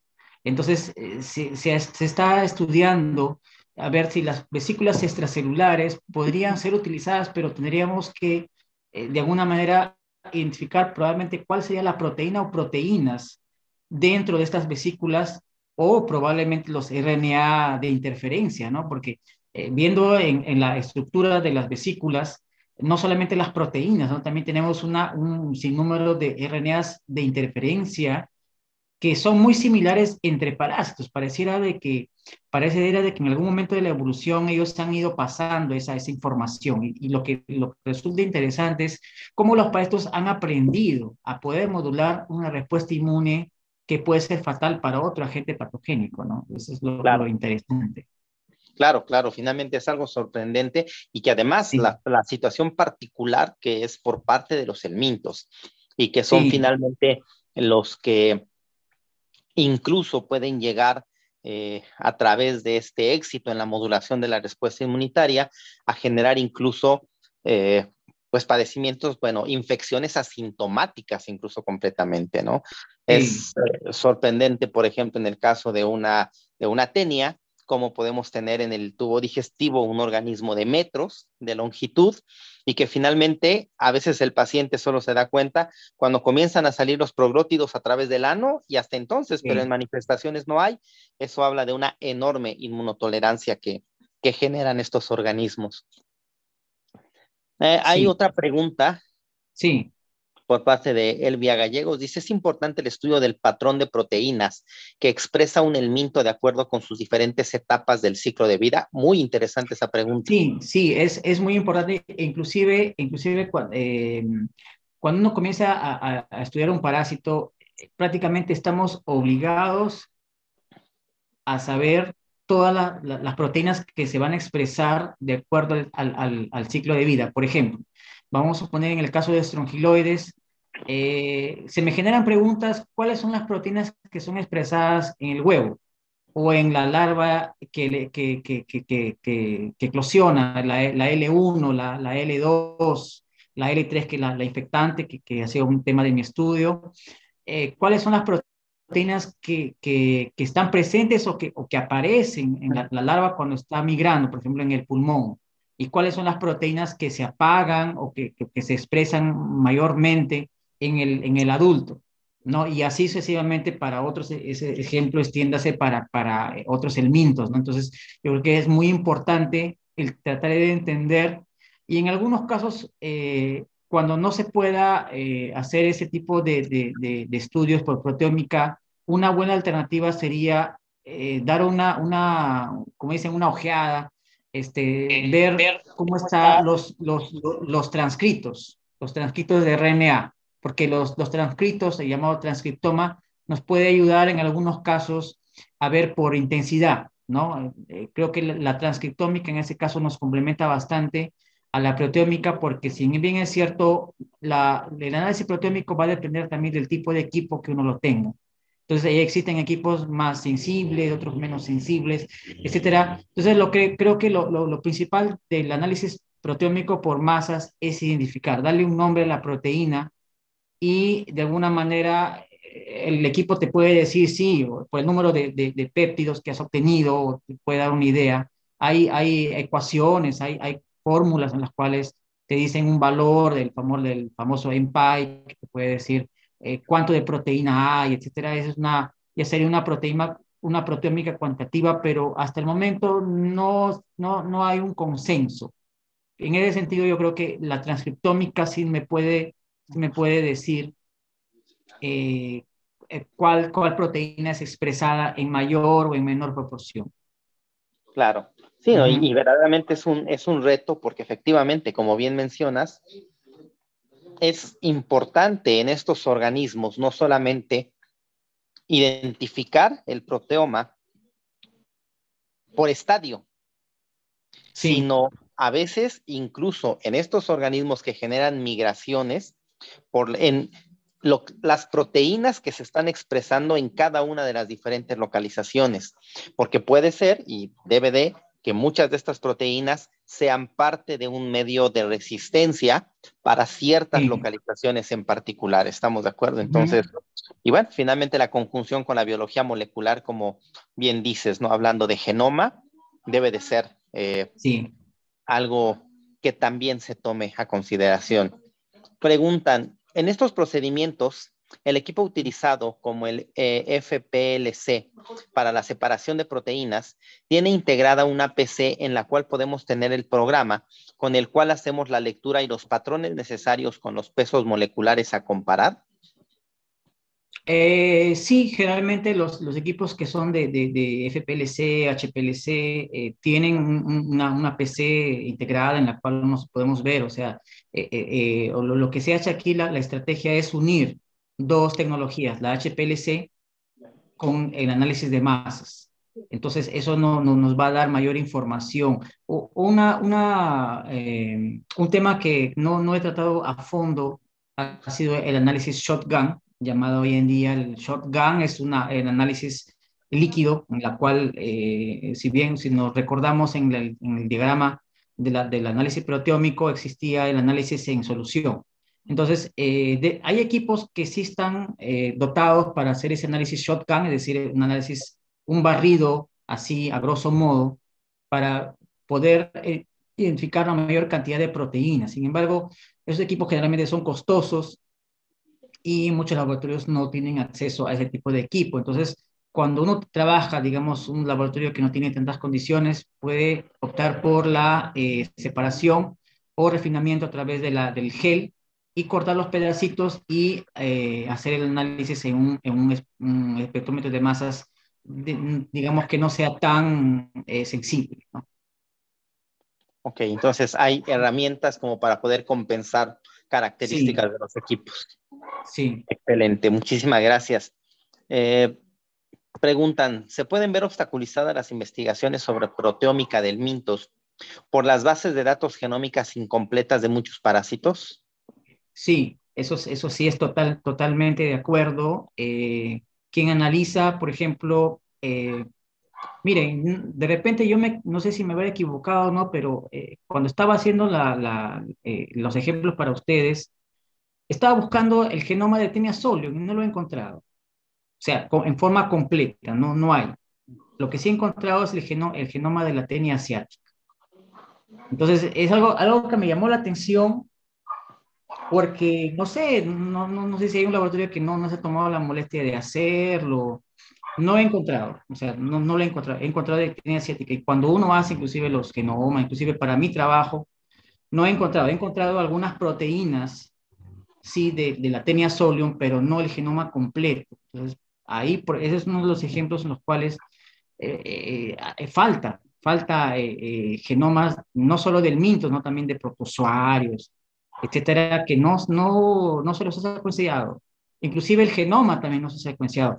Creo que el genoma de la Yodamea bushley se secuenció en el año 2018, me parece, por ahí.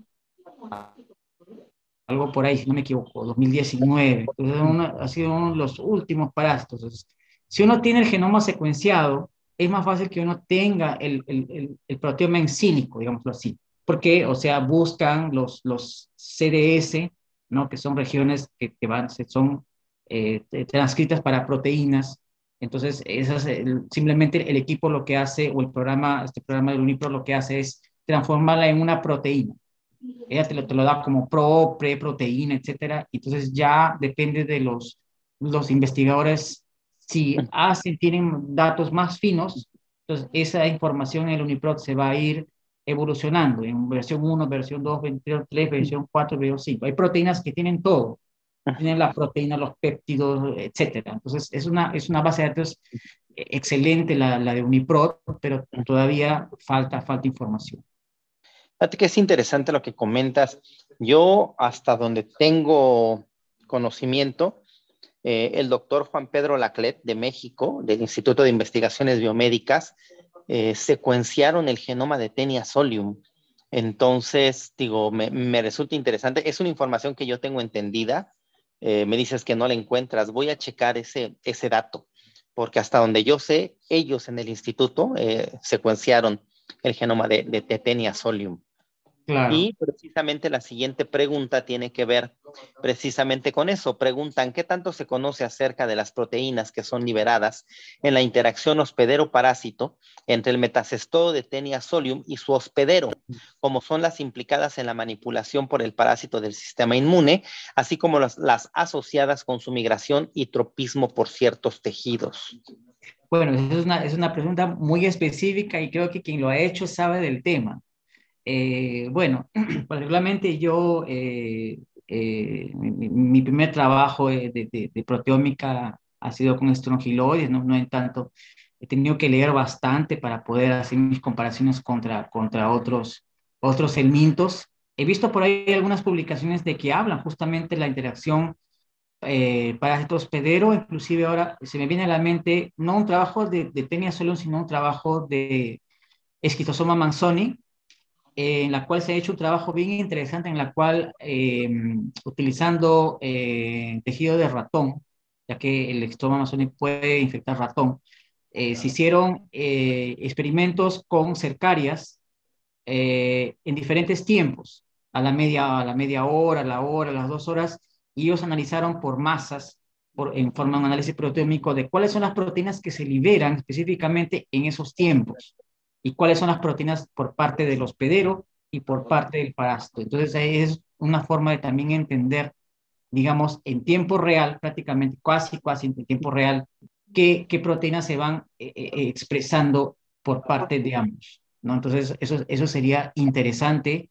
Inclusive hay una técnica el proteómica que lo que hacen es en el corte histológico, en este caso puede, se puede aplicar de repente al cisticerco que está en el tejido, se puede hacer un, corte histológico y agarrar los spots justamente de la, de la, de la interfase, interfase el parásito y aquí el tejido del hospedero y cortar esa parte de aquí, esas interfaces de aquí, aledañas, es decir, una parte que está más próxima del parásito, más próxima al tejido del hospedero, la intersección de ambos, y se me ocurre de repente por encima del propio tejido del hospedero, cortar diferentes puntos y esas proteínas analizarlas por masas y ver qué encontramos. Excelente. no, no sé, se me ocurre ahora, no, no he visto un artículo, de repente hay un artículo así, pero, pero eh, hay una técnica así que hacen ese tipo de análisis para, para definir qué proteínas se, están expresando en, en, un tejido, un corte histológico. es, interesante. Es, una prueba literalmente in situ. Sí, es una prueba in situ. Excelente. Pregunta nuevamente Elvia Gallegos. ¿El conocimiento de la proteómica del Mintos ha permitido conocer también las bases moleculares y los mecanismos que dan especificidad de los elmintos con sus hospederos?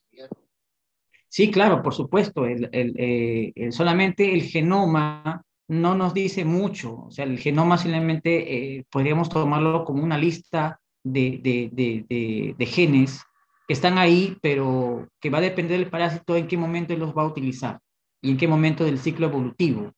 ¿no? Este, son genes que se, que, se, que se prenden, que se utilizan más, que se utilizan menos, y genes que no se dejan se dejan de utilizar.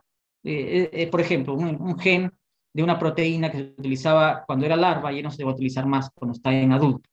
Y hay genes de proteínas que se van a utilizar en todo el ciclo evolutivo del parásito, en mayor o en menor proporción o en forma constante. Entonces, eso, eso, eso eh, hay que tomar en cuenta.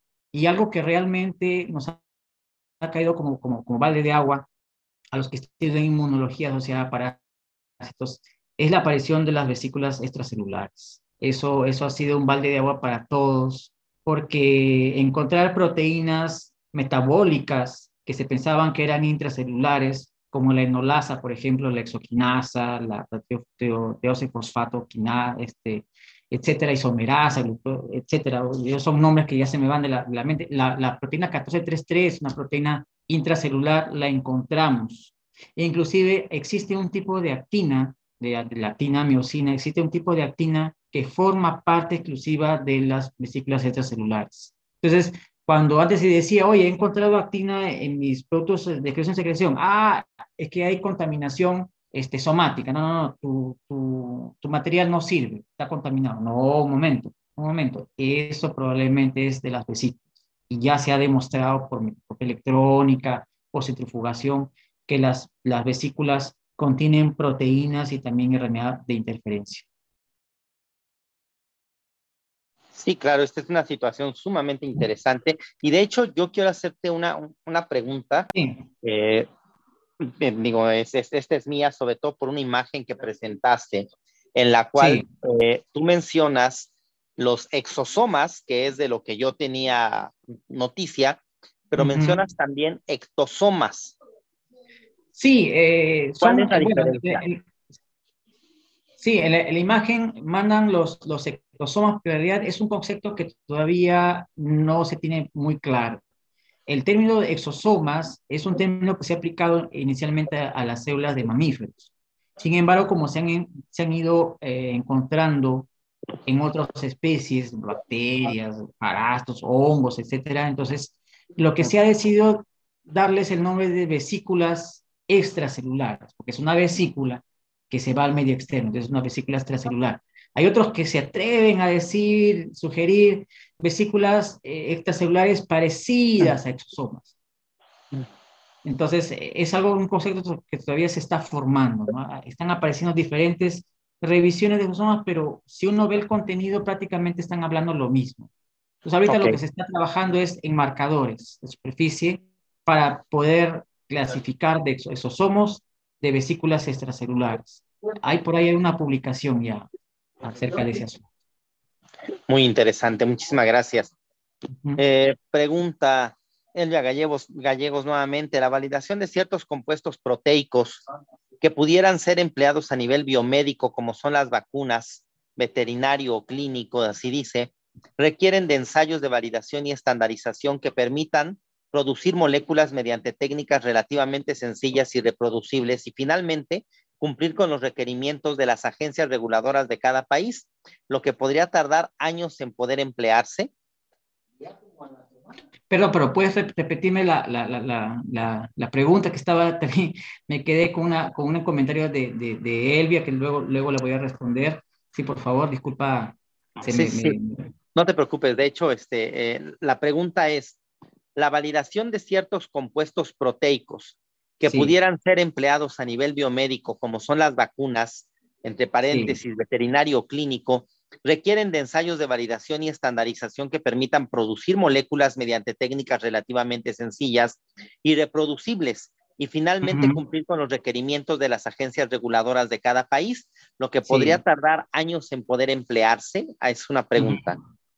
Sí, o sea, es todo un proceso. O sea, eh, eh, finalmente eh, las empresas farmacéuticas han, han tomado cuenta de, de, esas, de las vacunas, ya sea para, algún agente patógeno, ¿no? Y, lo resulta interesante que ahora, por, la, por esta pandemia, varias vacunas pues han sido liberadas en forma emergencial, ¿no? De emergencia, y lo ha sido en pocos meses, ¿no? Entonces, eh, eh, existe un cierto sector de la población, dicen, oye, mira, eh, existen vacunas que han demorado años, una década para, para ser liberadas y aprobadas, y estas están siendo aprobadas en seis meses, entonces ya nos genera también una cierta, una cierta desconfianza, ¿no? Entonces, bueno, yo quiero pensar de que, de que se han seguido todos los pasos para poder tener una, una, una, una vacuna que sea fiable, así como también, yo creo que en el caso de los, los, métodos de diagnóstico, yo creo que es más rápido, porque eh, en el caso de, pruebas moleculares y todo eso, entonces, si se tiene el, material, se tiene los sueros y todo eso, eh, se, puede, se puede aprobar. Sin embargo, tiene que hacerse necesariamente un estudio de validación en diferentes países, porque lo que tú encuentras, por ejemplo, vamos a poner en Perú o en México, tú encuentras una prueba que has creado y que es para ti 100% sensible, 100% específica, si lo aplicas en Asia, probablemente no te dé ese valor. Claro, claro. si, si, si, uno logra después de probar en diferentes puntos del planeta y llega a un consenso de valores de sensibilidad y especificidad eh, aceptables, entonces eso es lo que, lo que, como dice, va a misa, ¿no? Es lo último que se dice, es, así, porque no existe una prueba exactamente eh, perfecta. Eh, bueno, aprovechando, antes de la siguiente pregunta, este, para Elvia, que justo estoy leyendo aquí su, comentario, eh, Elvia, no, no, mi intención no era eh, decir que no existe el genoma en, sí, o sea, de repente me malinterpreté. lo que yo quería decir es que en el Uniprot no encontré el proteoma de Tenia Solium, a menos que en estos meses, mira, yo te, te hablo de que hace unos, hasta marzo, hice un análisis de, de, de, del Uniprot y no encontré para ciertas, para ciertos, ciertas proteínas no habían. Entonces puse proteoma y no me salía. Entonces creo yo que el nombre actual todavía es teniasolium. En, sin embargo, me salía teniasaginata, teniasaginata y teniasaginata. Entonces no sé si, si, si eh, es una cuestión de que sí, y en el, en el, en el Parasite World Base sí está el, el, genoma de la, la teniasolium, pero no sé qué ha pasado de que en el Uniprot no han hecho la, la, la ¿cómo se llama? La, el, el, depósito del, del, proteoma. No sé si eso implica de que tiene que haber un, un, laboratorio de que tenga que hacer el, el shotgun del proteoma completo de, de, la tenia, o es una cuestión de que tienen que in sílico eh, hacer la traducción y encontrar cuáles son los genes que codifican proteínas, y eso sería una proteína, proteoma in sílico. ¿No? Entonces, eso, eso eh, por lo menos yo busqué y no lo encontré, ¿no? O sea, no, genoma sí está, eso sí, que quede claro, el genoma sí, sí está. Listo. Ok, muchísimas gracias. Y mil gracias, este, doctora Elvia, eh, por su correo y el ofrecimiento de enviarnos los libros. Le voy a mandar un correo este, directamente para que me haga favor de compartirlos y a su vez yo pueda compartirlos con los compañeros del instituto y ellos a su vez con los diferentes grupos. Muchísimas gracias y este, qué, qué bien que haces la, la, aclaración, William, sobre, sobre esta situación. Eh, Julia Quintero Guevara dice, felicitaciones. Eh, una disculpa, está lloviendo bastante fuerte aquí, no sé si me escuchan bien, este, pero porque está lloviendo muy fuerte. Eh, Julia Quintero, eh, felicitaciones, excelente presentación. Concuerdo con ella, el tema es muy, muy interesante. Es poco conocido, sobre todo en la parte de la parasitología, pero nos has abierto un camino súper, súper importante, William, permíteme decírtelo. Hernán Mendoza dice, ¿se puede analizar a pacientes que presentan alergias frecuentes, perdón, eh, alergias frecuentes con este tipo de estudios para confirmar o descartar infecciones por el mintos? Eh, bueno, yo creo que ese es un estudio más a nivel inmunológico. Eh, no, pero bueno, este, sí, hay, estudios que se pueden, se pueden hacer porque eh, resulta interesante, como les había comentado, de que, por ejemplo, en los lugares donde existen más elmintos, curiosamente hay menos gente que tiene alergias. Y si nos damos cuenta, los lugares como por ejemplo Estados Unidos, Canadá, los países europeos, que no tienen el mintos, curiosamente tienen más problemas de rinitis, alergias. Entonces, de alguna manera, eh, me parece que por ahí, ¿no? Dentro de nuestra desgracia de las elmintiasis, eh, nos salva la, la, esa, esa probabilidad de no ser alérgicos. ¿no? Entonces, por ahí uno podría hacer el estudio. existen varios estudios, ¿no? Hay, hay, revisiones también completas sobre, sobre inclusive hay, hay hay estudios eh, bien curiosos de, de, de, tratamientos que, que, que, se hacen de inducir a la persona a parasitarla para que le cure la, la, alergia, una cosa así, ¿no? Bueno, no, no he entrado muy a fondo de eso, pero de que sí hay, sí hay esos, primero, no, no sé qué tan aprobados sean por, la, por, las, por las entidades, ¿no? Gubernamentales, no sé, pero, pero de que hay, hay esos, esos este, ¿no? Tomando en cuenta el fundamento, el background inmunológico, ¿no? Sí, de hecho, bueno, sí hay, como dices, mucha información. Eh, lo comentamos con el doctor Pablo Martínez Labat, que nos habló precisamente de las, de las larvas migrantes.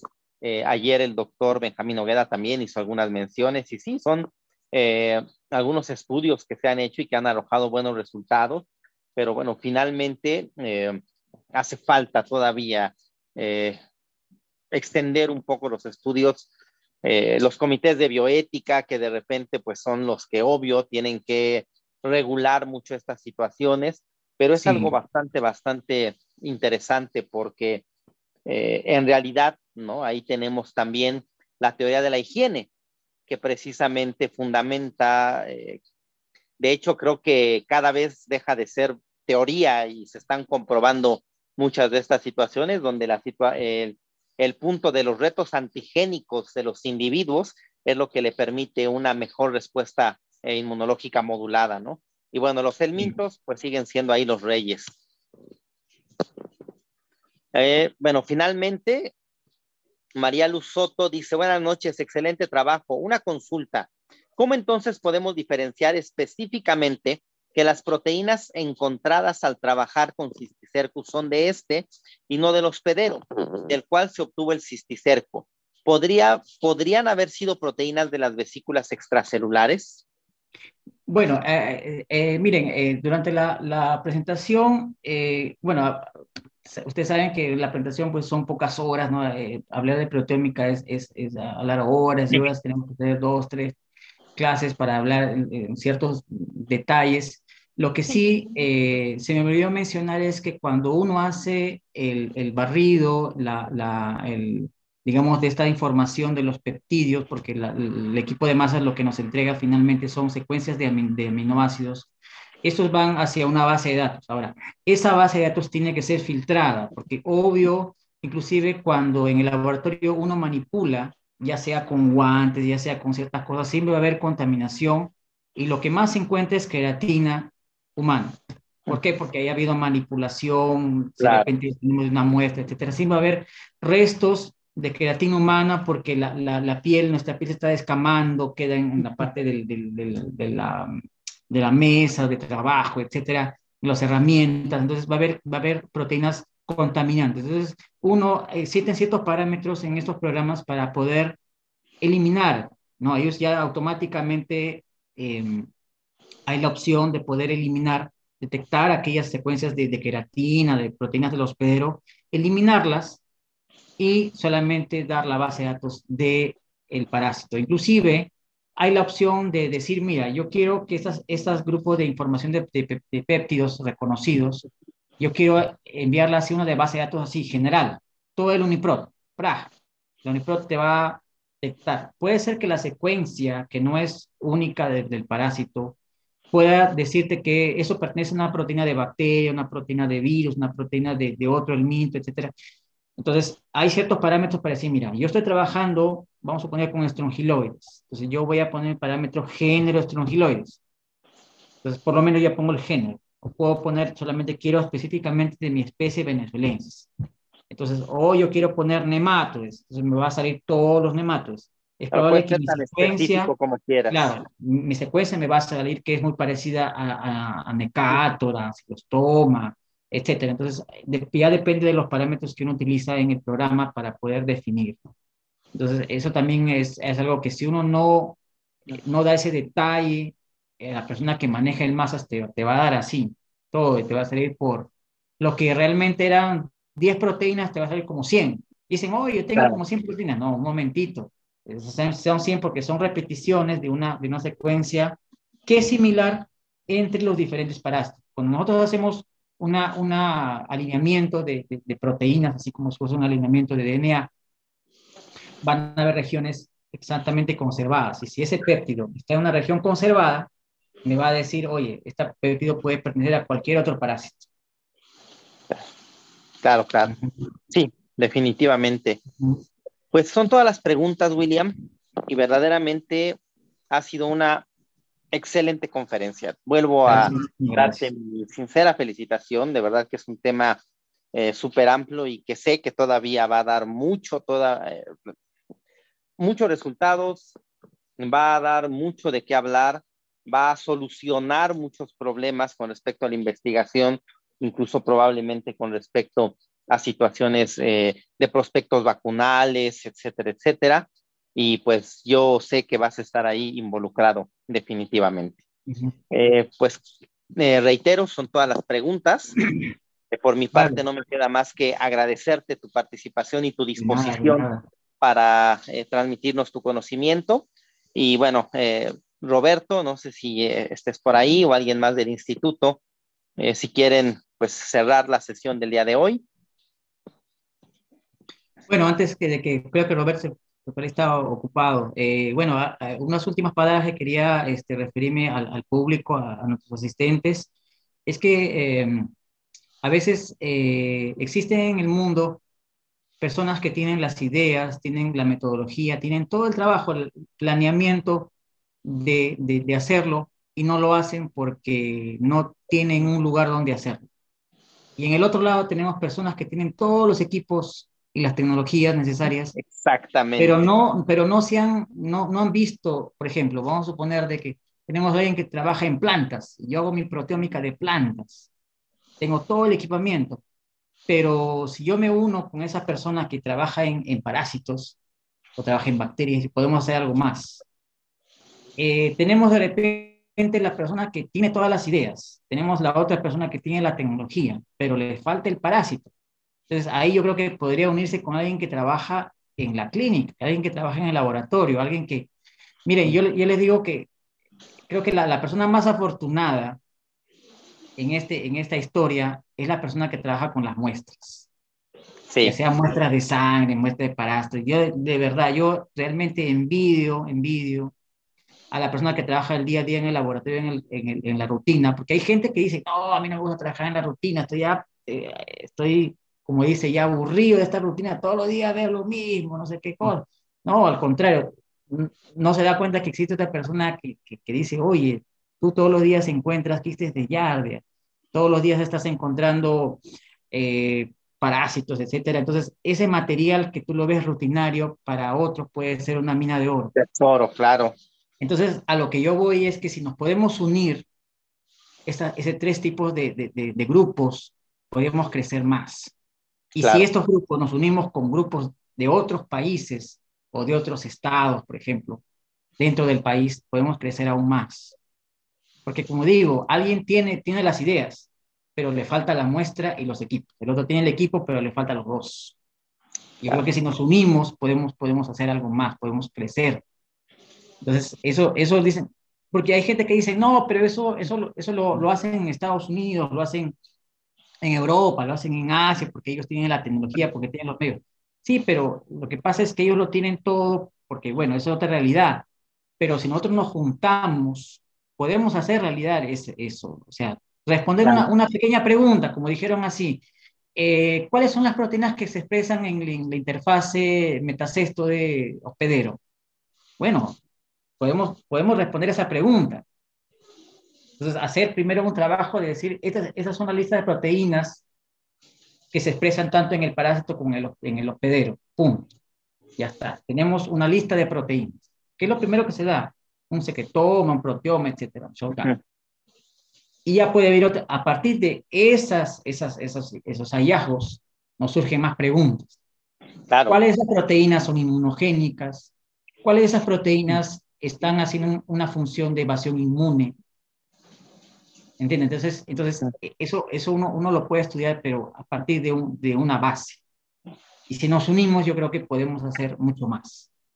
Sí, definitivamente, tienes toda la razón. Y, Eso es todo. Eh, Siempre, siempre, bueno, creo que de hecho estás haciendo una clara recomendación y hasta invitación a la colaboración. La colaboración, eh, la participación multidisciplinaria siempre va a ser lo que lleve al avance. Cuando nos quedamos, mencionas de manera muy curiosa un hecho real, pero es curioso. Yo tengo toda la tecnología pero no tengo las muestras, ¿no? Entonces, la persona que tiene las muestras las desecha este, sin darle el valor a que el estar en el laboratorio y ver precisamente los pacientes, los resultados, analizarlas, es justamente el conocer la importancia que tienen esos parásitos, porque las personas que estamos en el laboratorio somos los que conocemos de primera mano verdaderamente las incidencias y las prevalencias, porque ahí están nuestros resultados. Cuando menos en nuestra colonia, cuando menos en nuestra ciudad, pero somos los que verdaderamente tenemos de primera mano el problema.